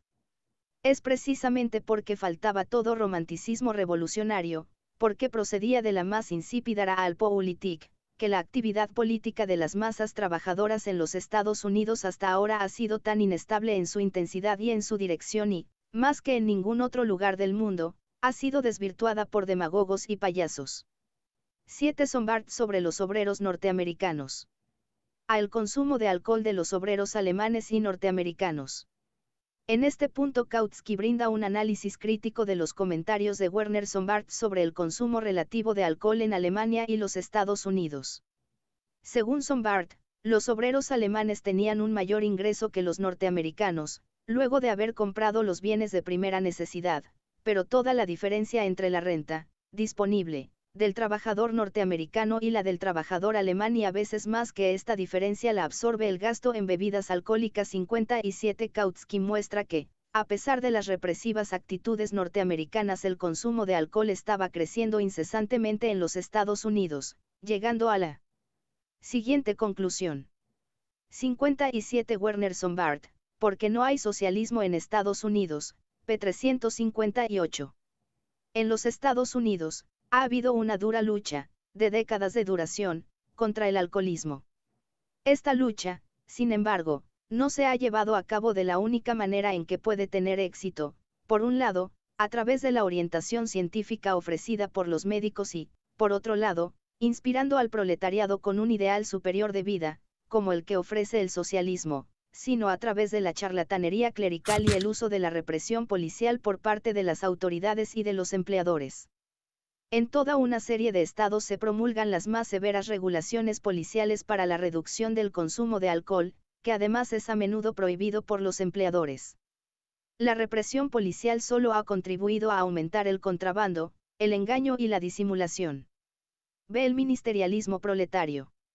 Sombart nos da a conocer otras peculiaridades del obrero norteamericano, y a menudo ofrece excelentes juicios sobre las mismas. Plantea, por ejemplo, la cuestión de qué beneficios obtiene. Proletariado cuando sus luchas y su creciente poder dan lugar a que los partidos gobernantes ofrezcan puestos en el gabinete a algunos de sus líderes. Es bien sabido que, cuando Millerán 58 entró al gobierno burgués de Walde Crowseau, nuestros revisionistas se sintieron encantados y declararon que esta era la única manera en que el proletariado podía llegar al poder. La aspiración a conquistar el conjunto del poder político fue declarada romanticismo revolucionario necio y estéril. La experiencia con el experimento de Millerán ha enfriado considerablemente el entusiasmo de nuestros estadistas revisionistas, y cuando John Burns 59 obtuvo hace poco un puesto ministerial fue recibido con un silencio avergonzado, hasta que el enfant terrible del revisionismo alemán declaró su entusiasmo por este triunfo del proletariado británico 60. El profesor prusiano sabe cómo evaluar el valor de este método de conquistar el poder político pedazo a pedazo mejor que el miembro socialdemócrata del Reichstag al menos para los Estados Unidos.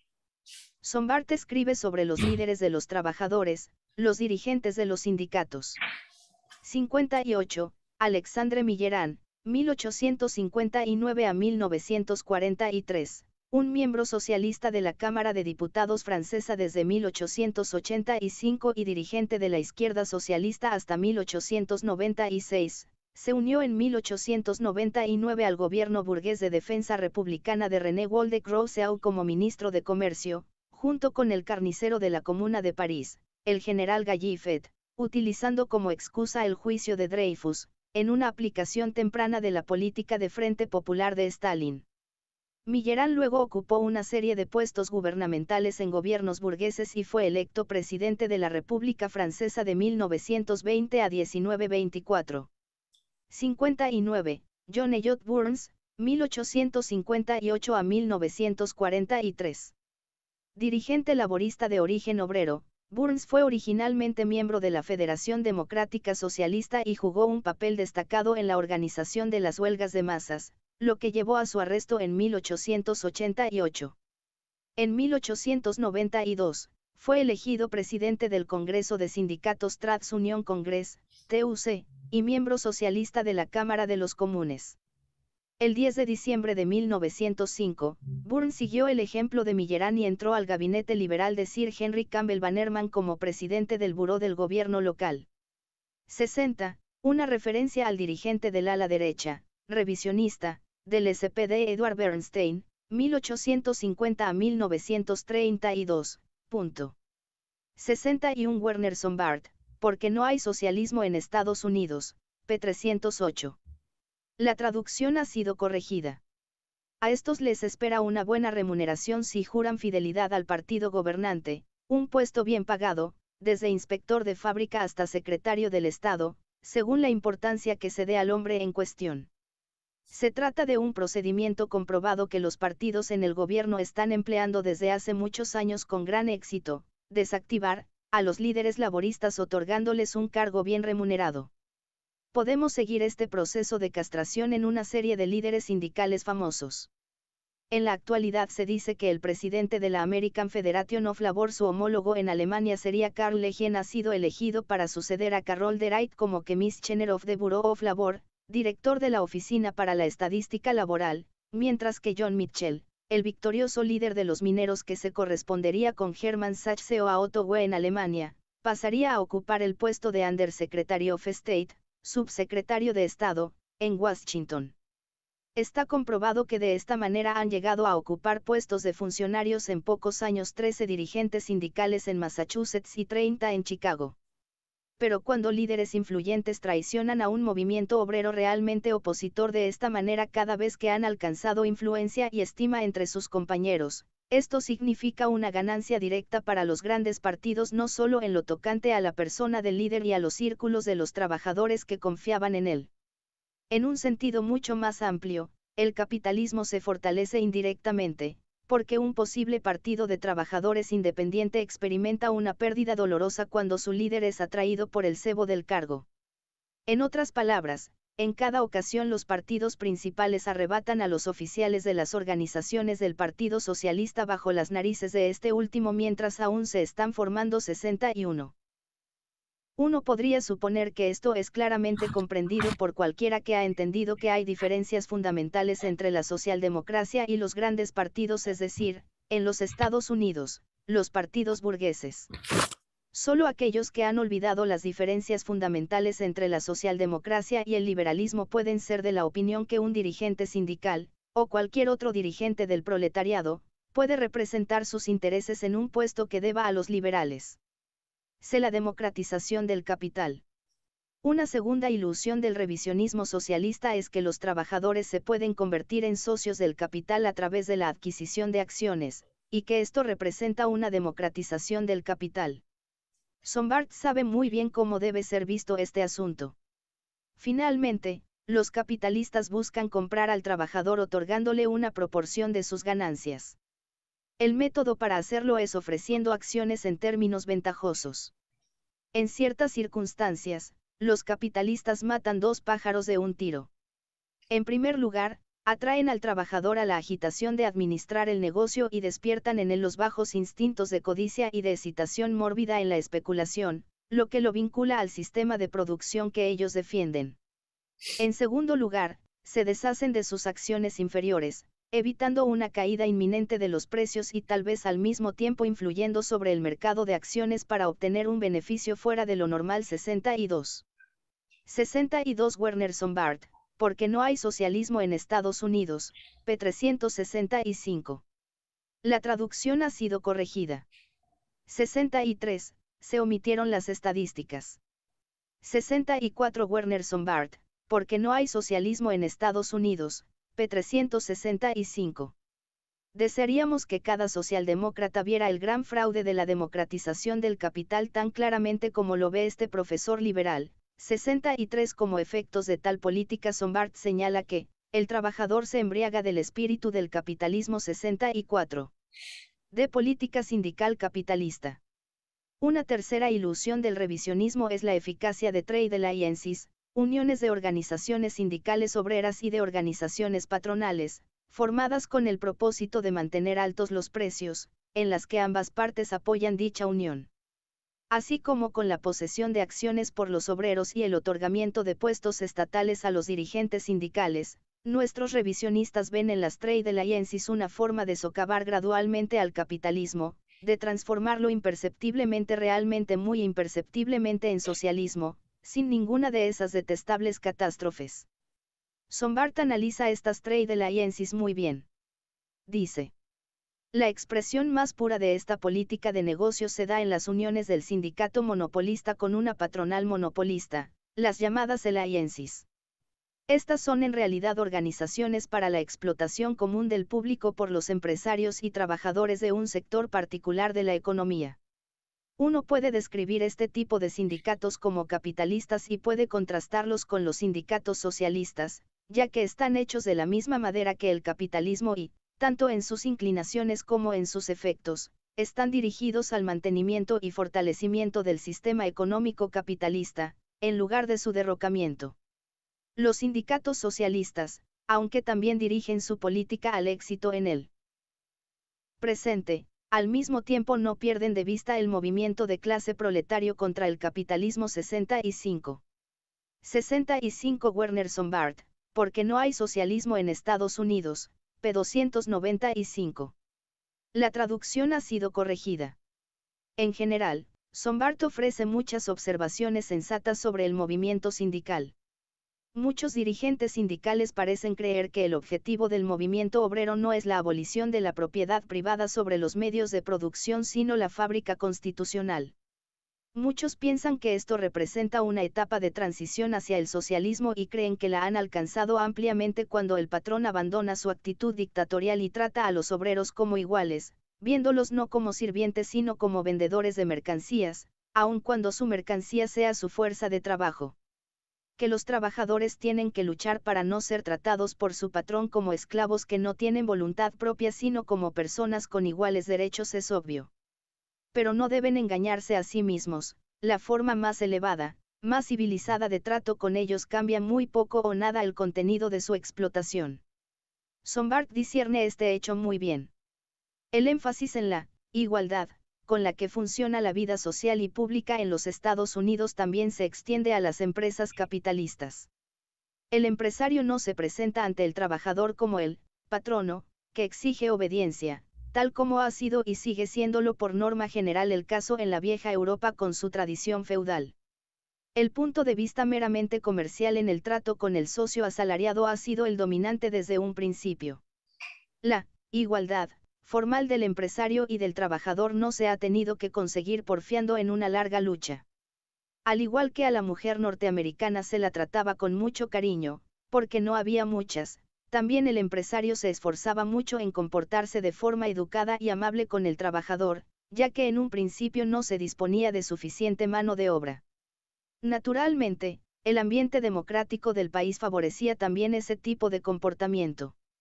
Todavía hoy, los trabajadores ingleses se muestran sorprendidos por el tono respetuoso del que se sirven el empresario y el capataz en los Estados Unidos al tratar con el trabajador, por la autonomía del trabajador norteamericano incluso en el puesto de trabajo, por la de libre que on putepele la surveillance vexatoire.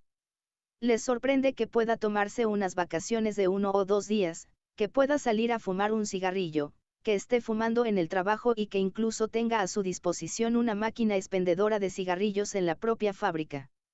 Es típico, el empresario norteamericano, a pesar de no instalar en sus fábricas los dispositivos de protección más sencillos, de no ocuparse en lo más mínimo de que las instalaciones estén objetivamente en buen estado a menudo están demasiado llenas, etc., hace complacientemente todo lo que el trabajador pueda notar subjetivamente como comodidad.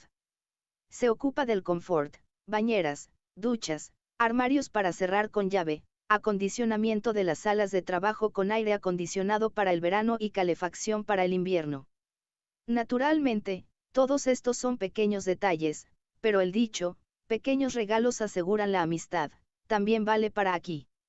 Más tarde intentaré demostrar que en ningún otro país del mundo, mirado objetivamente, el capitalismo explota tanto al trabajador como lo hace en los Estados Unidos, que en ningún otro país del mundo el trabajador sufre tanto bajo el yugo del capitalismo, encontrando tan rápidamente la muerte debido al trabajo. Esto, sin embargo, no cuenta nada cuando se trata de explicar los sentimientos del proletariado. Para esto solo importa lo que el individuo percibe como placer o desdicha, como valor o futilidad. Uno de los más brillantes méritos del carácter diplomático del empresario norteamericano es el de mantener de buen humor a sus trabajadores a pesar de toda la explotación real. El proletariado no desarrolla así una conciencia de su situación real 66. 66 Werner Sombart, porque no hay socialismo en Estados Unidos, p. 295. La traducción ha sido corregida. 67 Werner Sombart, porque no hay socialismo en Estados Unidos, p. 370, énfasis en el original. La traducción ha sido corregida. Algunas personas podrían objetar que, si la igualdad de derechos y la libertad política tienen un efecto tan perjudicial sobre la conciencia de clase del proletariado norteamericano, mientras que la falta de tales condiciones en Europa, especialmente en Europa Oriental, le da un mayor ímpetu a la lucha de clase proletaria, es absurdo pedir igualdad de derechos y libertad política y hacer tantos sacrificios para conseguirlos. En absoluto. Sin igualdad de derechos y libertad política el proletariado no puede desarrollar toda su fuerza, el obrero las necesita como necesita del aire y la luz, son elementos vitales para él.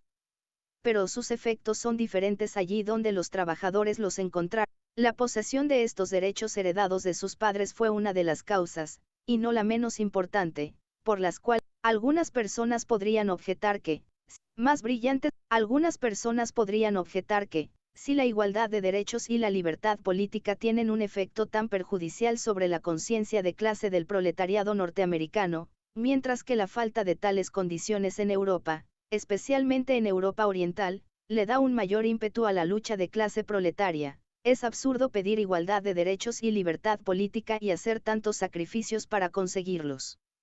En absoluto. Sin igualdad de derechos y libertad política el proletariado no puede desarrollar toda su fuerza, el obrero las necesita como necesita del aire y la luz, son elementos vitales para él. Pero sus efectos son diferentes allí donde los trabajadores los encontraron desde el comienzo como derechos autoevidentes, sobre los cuales no tuvieron que preocuparse, que allí donde el proletariado mismo tuvo que luchar por ellos. Así como la lucha por la verdad es mucho más valiosa que la posesión sin esfuerzo de una verdad descubierta por otros, también la lucha por la libertad enaltece mucho más que la posesión pasiva de una libertad que otros ganaron antes. 8. La pauperización del obrero norteamericano. A la declinación del agricultor pequeño burgués. Cuando los revisionistas se propusieron refutar o desarrollar la teoría marxista, es decir, romper su columna vertebral para convertirla en sumisa, lo que los irritaba especialmente era la demanda de la conquista del poder por el proletariado y la teoría de la intensificación creciente de los antagonismos de clase. Para refutarla, los revisionistas le dieron una forma absurda, extrayendo de la demanda de la conquista del poder político resultaba una especulación sobre catástrofes, que a su vez estaba supuestamente basada en una teoría especial de las catástrofes, y derivando de la teoría de la necesaria agudización de los antagonismos de clase una teoría de la pauperización de los trabajadores como si Marx hubiera absurdamente esperado que la fuerza de los proletarios para remodelar el organismo social resultara de su creciente degeneración. La Revolución rusa, de 1905, y la agudización especialmente fuerte de las luchas de clases en toda Europa durante los últimos años condenaron mientras tanto las críticas a la llamada teoría de las catástrofes, sino al silencio absoluto, al menos a la más absoluta insignificancia. Pero el desarrollo económico ya desde antes había reducido a de absurdum la crítica de la teoría de la pauperización, es decir, la teoría de la agudización de las contradicciones de clase entre capital y trabajo. Las condiciones norteamericanas proveen nuevos materiales sobre estos temas porque allí el desarrollo ha sido especialmente rápido en las recientes décadas, haciendo sus tendencias claramente visibles. Dichas condiciones muestran que la edad de oro para el obrero norteamericano dentro del modo de producción capitalista no está frente a él, sino detrás de él, que su posición social en relación al capital y esa es la cosa decisiva ha empeorado continuamente. La principal causa de esta superioridad en la situación del obrero norteamericano vis a vis el obrero europeo era el hecho de que el medio de producción decisivo, la tierra, no era monopolio exclusivo de una casta de terratenientes sino accesible a todos. No obstante, el obrero norteamericano ha ido perdiendo esa superioridad crecientemente. En su artículo sobre los Estados Unidos en Die Neue Zeit, el camarada Saimens ya ha aludido al hecho remarcable de que la población agrícola del estado de Iowa está decreciendo.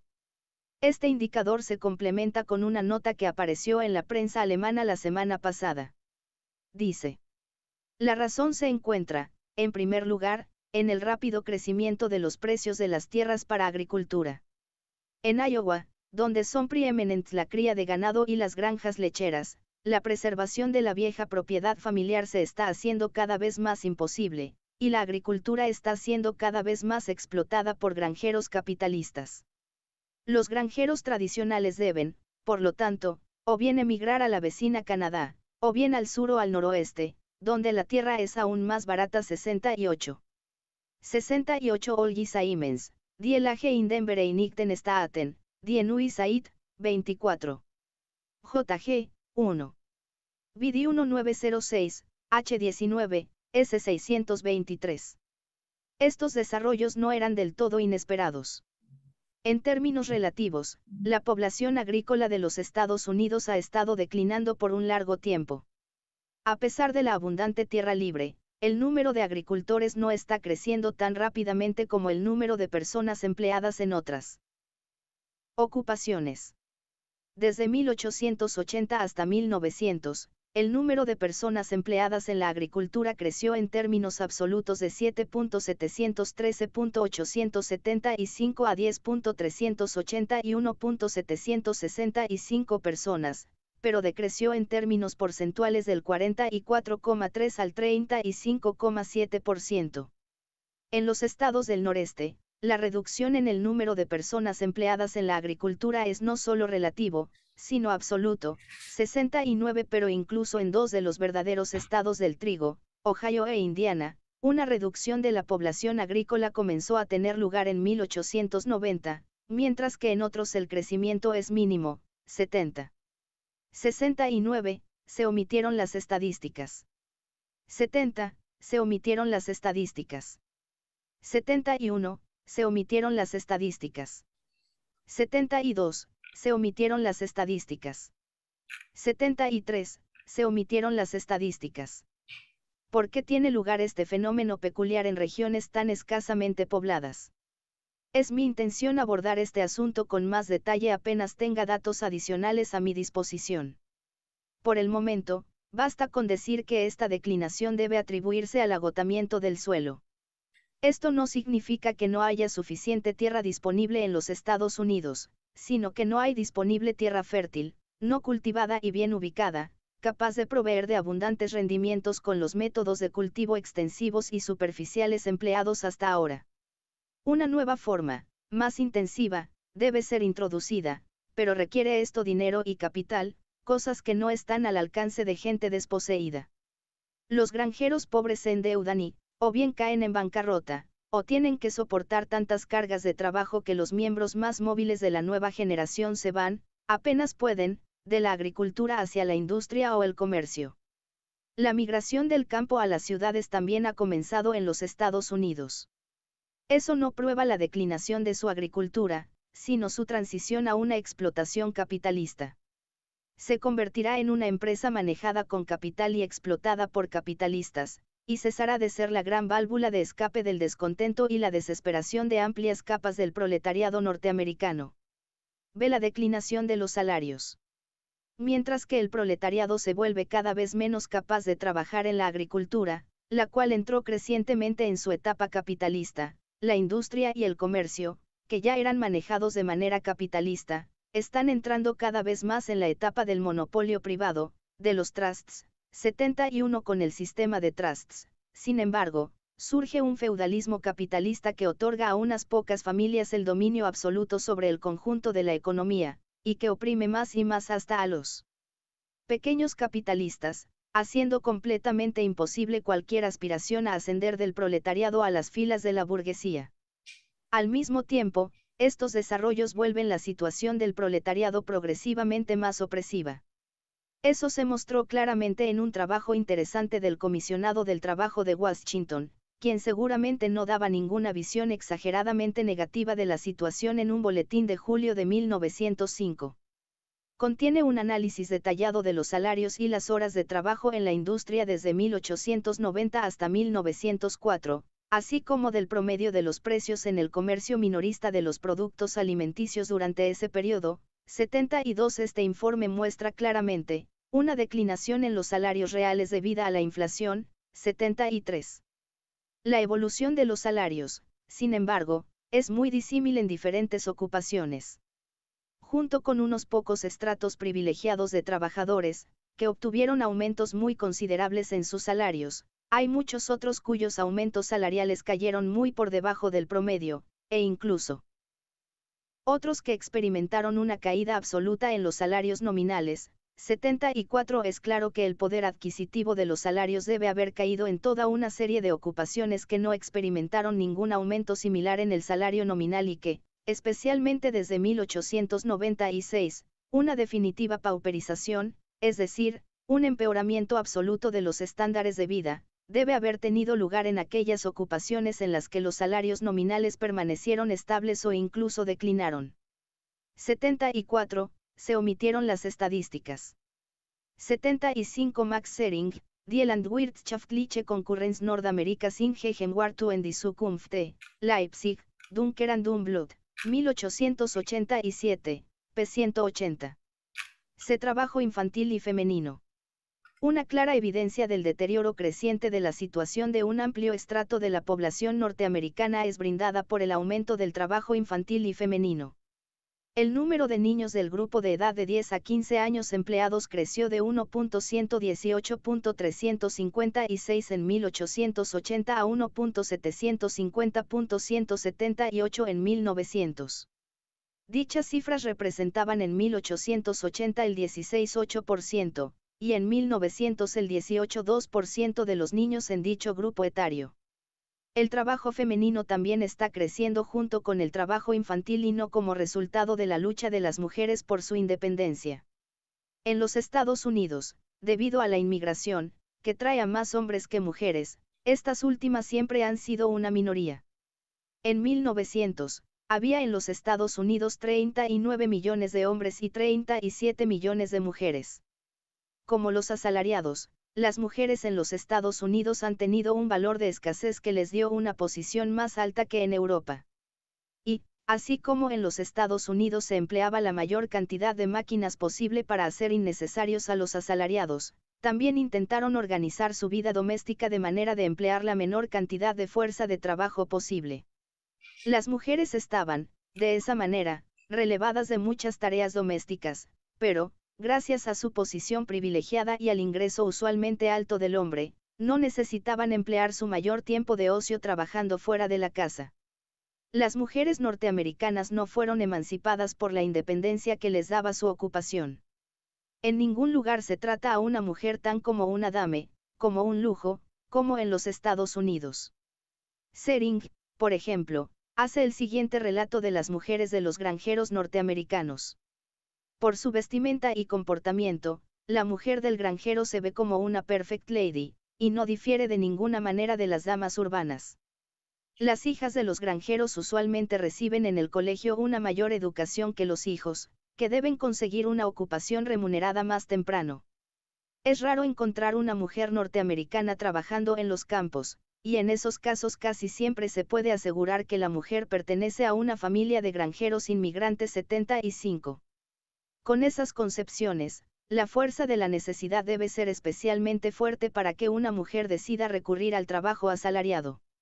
Aún hoy, el trabajo asalariado es mucho menos común entre las mujeres de la población nativa blanca que entre los blancos extranjeros y los negros. En general, el 18,8% de los asalariados en 1900 eran mujeres.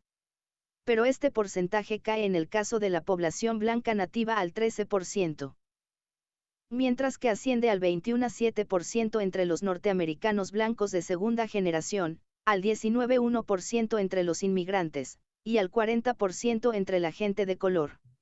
No obstante, ese 13% ya representa un aumento considerable del trabajo femenino entre los nativos blancos, ya que las mujeres solo constituían un 11% de los asalariados en 1890, 76. 76, se omitieron las estadísticas. 77, se omitieron las estadísticas. 78, se omitieron las estadísticas. 79, se omitieron las estadísticas. 80, se omitieron las estadísticas. De desempleo. Junto con la evolución del poder adquisitivo de los salarios y del trabajo infantil y femenino, hay un tercer criterio para medir el crecimiento o la disminución de la miseria social de la clase obrera, el desempleo. El último censo norteamericano ofrece datos valiosos también sobre este asunto. 77 El censo muestra que más de un quinto del número total de las personas económicamente activas en la industria, las profesiones liberales y el servicio doméstico, más de un cuarto estaban desempleados entre 1899 y 1900 y el desempleo claramente está creciendo rápido. Los inmigrantes eran el grupo más severamente golpeado. La situación de los desafortunados rusos era en todos los aspectos la peor, 78. Concedemos gustosos que esos datos están incompletos. Pero, en la medida en que muestran algo, revelan un crecimiento e intensificación del desempleo, y con total certeza muestran una medida inédita de desempleo precisamente en 1900, que fue un año de prosperidad en los Estados Unidos, 79. Tomados junto con el desempleo, los datos que muestran una declinación en el poder adquisitivo de los salarios desde 1896 revelan un cuadro aún peor. 80 Las estadísticas sobre los salarios dan el ingreso semanal de los trabajadores, calculado en salarios por hora. La cuestión decisiva para el bienestar del trabajador, sin embargo, no es su ingreso semanal sino su ingreso anual, y este será evidentemente menor, manteniéndose iguales sus ingresos semanales, mientras mayor sea el número de semanas en el año que tiene que pasar sin trabajo y sin salario.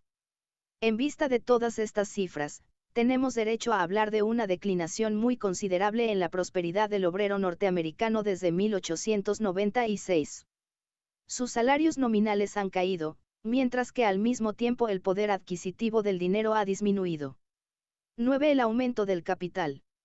La declinación del obrero norteamericano que se describe aquí tuvo lugar en una década de colosal crecimiento económico, de prosperidad realmente deslumbrante, que fue testigo de un enorme avance en la clase capitalista y de una acumulación masiva de capital. Solo en la industria pesada, el valor del capital invertido creció durante este periodo de 6.524 millones de dólares a alrededor de 9.857 millones de dólares, un crecimiento de alrededor de 3.333 millones de dólares, es decir, de 14.000 millones de marcos. Y esta acumulación no fue alcanzada a través del ahorro meticuloso y la simplicidad del estilo de vida puritano. El crecimiento del capital más bien fue de la mano con un despilfarro alocado de dinero, que sobrepasó todo lo imaginado hasta ahora por los grandes explotadores europeos en siglos de goce ocioso y derroche extravagante. Sobre ese asunto también podemos referirnos a Sombart. En la actualidad, la distribución final de la riqueza total aún puede estar tomando forma, pero se puede decir indiscutiblemente que los contrastes absolutos entre pobres y ricos no son en ninguna parte del mundo tan grandes como en los Estados Unidos. Sobre todo, porque los ricos de allí son mucho más ricos que el mismo grupo en Alemania. En Estados Unidos, sin duda, hay más personas que poseen 1.000 millones de marcos que personas que poseen 100 millones de marcos en Alemania. Cualquiera que haya estado en Newport, la bahía de Nueva York, habrá tenido la impresión de que en Estados Unidos tener un millón es algo común. Ciertamente, no hay otro lugar en el mundo donde el palacio principesco del estilo más grandioso sea obviamente el tipo de residencia estándar, mientras que cualquiera que haya paseado una vez por los grandes almacenes de Tiffany's en Nueva York siempre sentirá algo parecido al olor de la pobreza incluso en los negocios de lujo más espléndidos de las grandes ciudades europeas. Debido a que Tiffany's también tiene sucursales en París y Londres, puede servir excelentemente para establecer comparaciones entre la extravagancia y, por lo tanto, la riqueza de las 400 familias principales en los tres países en cuestión. Los gerentes de la oficina central de Nueva York me dijeron que la mayoría de la mercancía que ofrecen a la venta en Nueva York proviene de Europa, donde está hecha especialmente para Tiffany's de Nueva York. Sin embargo, sería impensable que una tienda de París o Londres, incluidas las mismas tiendas Tiffany's, ofreciese mercancía a los mismos precios que en Nueva York. Las piezas más caras son exclusivamente asequibles a los bolsillos de las mujeres de Nueva York 81. 81 Werner Sombart, porque no hay socialismo en Estados Unidos, p. 283. La traducción ha sido corregida. Así, un derroche fabuloso va de la mano con una fabulosa acumulación en un país cuya burguesía, tanto económica como ideológicamente, dejó atrás la etapa de puritanismo severo hace solo unas pocas décadas. Qué enorme crecimiento de la explotación, tanto en extensión como en intensidad, implica esta transformación abrupta.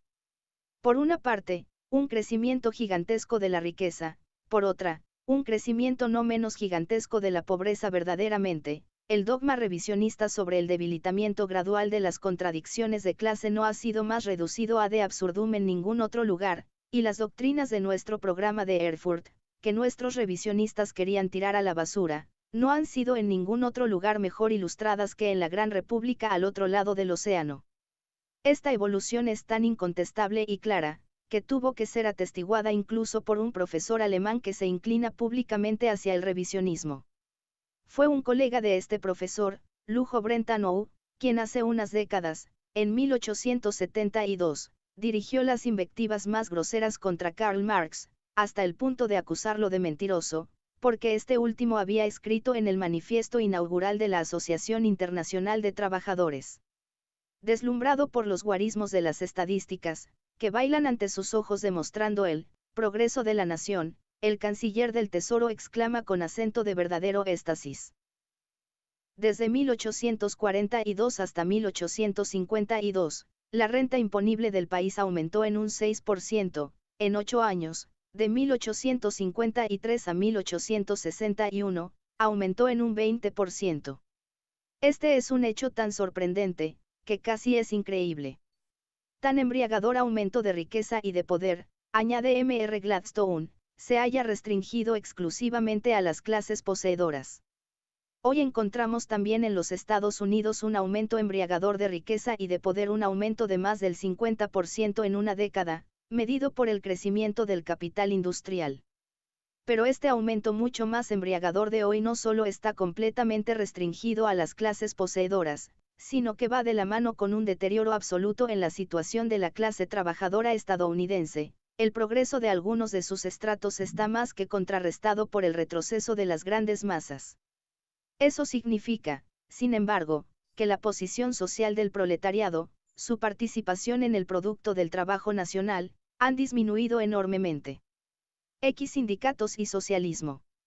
En ningún lado estuvieron más desarrolladas las condiciones bajo las cuales nuestros revisionistas piensan que el progreso económico de la clase obrera dentro del modo de producción capitalista estaría garantizado que en los Estados Unidos, completa democracia, la mayor libertad de organización y de prensa, y una alta igualdad de derechos sociales.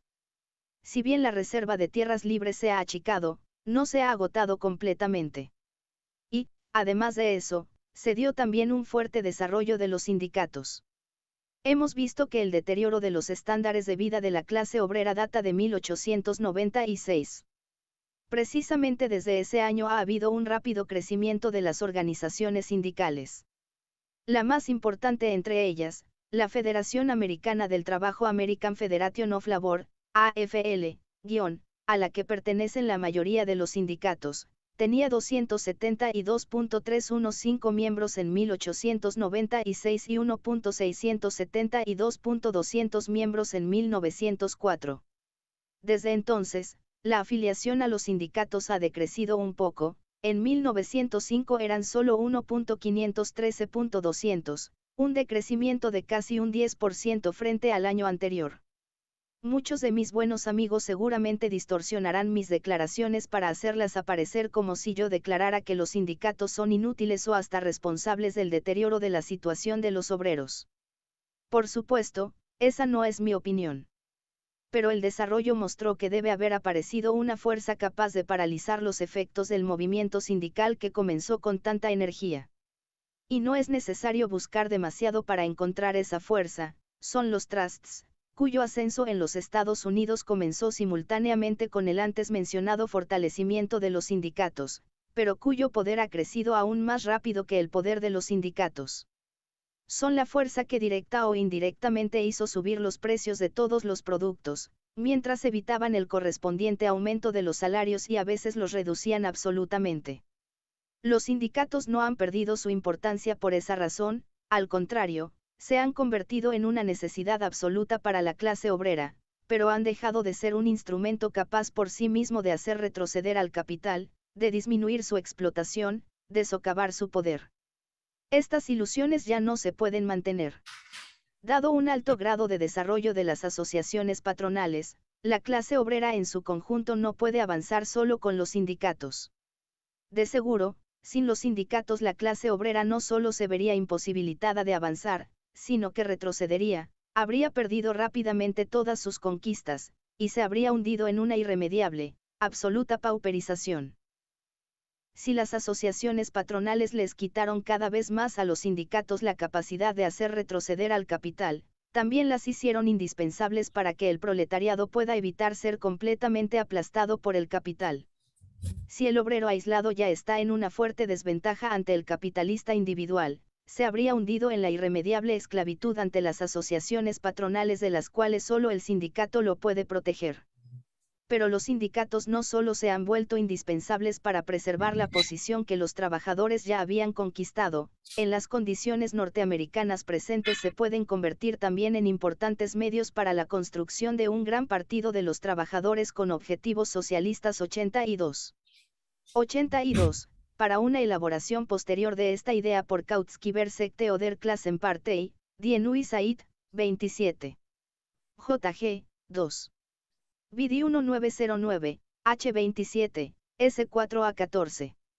Disponible online en inglés en Marxists Internet Archive como Sector Class Parties. Es claro que los obreros norteamericanos deben, en las circunstancias descritas más arriba, volverse cada vez más accesibles a las ideas socialistas. Cierto, la propaganda socialista en Estados Unidos encontrará obstáculos difíciles en su camino. Ya hemos indicado algunos de ellos, como el gran número de inmigrantes en el proletariado norteamericano, que no solo a duras penas se entienden entre ellos, sino que se han criado bajo condiciones políticas y sociales que difieren completamente de las de su nuevo país, por lo que encuentran su camino hacia las tácticas demandadas por las peculiares condiciones norteamericanas solo con gran dificultad y esta dificultad crece en la medida en que esos inmigrantes ya hayan estado políticamente activos en su país de origen y hayan adquirido allí reglas firmes de praxis política. Además, la completa falta de romanticismo revolucionario, en el sentido teórico, hace al norteamericano promedio en muchos aspectos bastante lisiado en términos de propaganda y acción socialista, y abre un amplio campo de actividad para charlatanes y estafadores. Pero, por otro lado, el desarrollo económico no avanza más rápido en ningún otro lado que en los Estados Unidos, y la clase capitalista no está en ningún otro lugar menos obstaculizada por estratos intermedios y tradiciones para desarrollar todas sus tendencias explotadoras, en ningún otro lado los antagonismos de clase se están agudizando más rápidamente que en los Estados Unidos. Estas masas se verán forzadas a rebelarse contra la tiranía capitalista en los Estados Unidos más que en ningún otro lugar. Aun si esta rebelión asume temporalmente formas bastante peculiares, aun si al principio coloca en primer plano a toda clase de demagogos, aun si el crecimiento del Partido Socialdemócrata es todavía temporalmente lento y se ve interrumpido por reveses momentáneos, el proletariado norteamericano, como el proletariado europeo, debe finalmente llegar a la conclusión de que solo la realización del programa socialdemócrata, solo la expropiación de los expropiadores puede liberarlos del yugo que pesa sobre ellos cada vez más opresivamente. Quien reflexione sobre los hechos presentados más arriba debe llegar con nosotros a la conclusión de que dentro de una generación debemos también necesariamente esperar un socialismo floreciente en los Estados Unidos, y quizás considerablemente antes. En los Estados Unidos todo sucede más rápidamente y con más fuerza que en Europa. Si Rusia nos ha mostrado, como esperábamos, el primer ejemplo de un proletariado constituyendo la fuerza motriz más poderosa en la revolución política de todo un país, quizás los Estados Unidos nos muestren, aún antes que Europa, el ejemplo de un proletariado que conquiste el poder económico y político de la clase capitalista para establecer una sociedad socialista.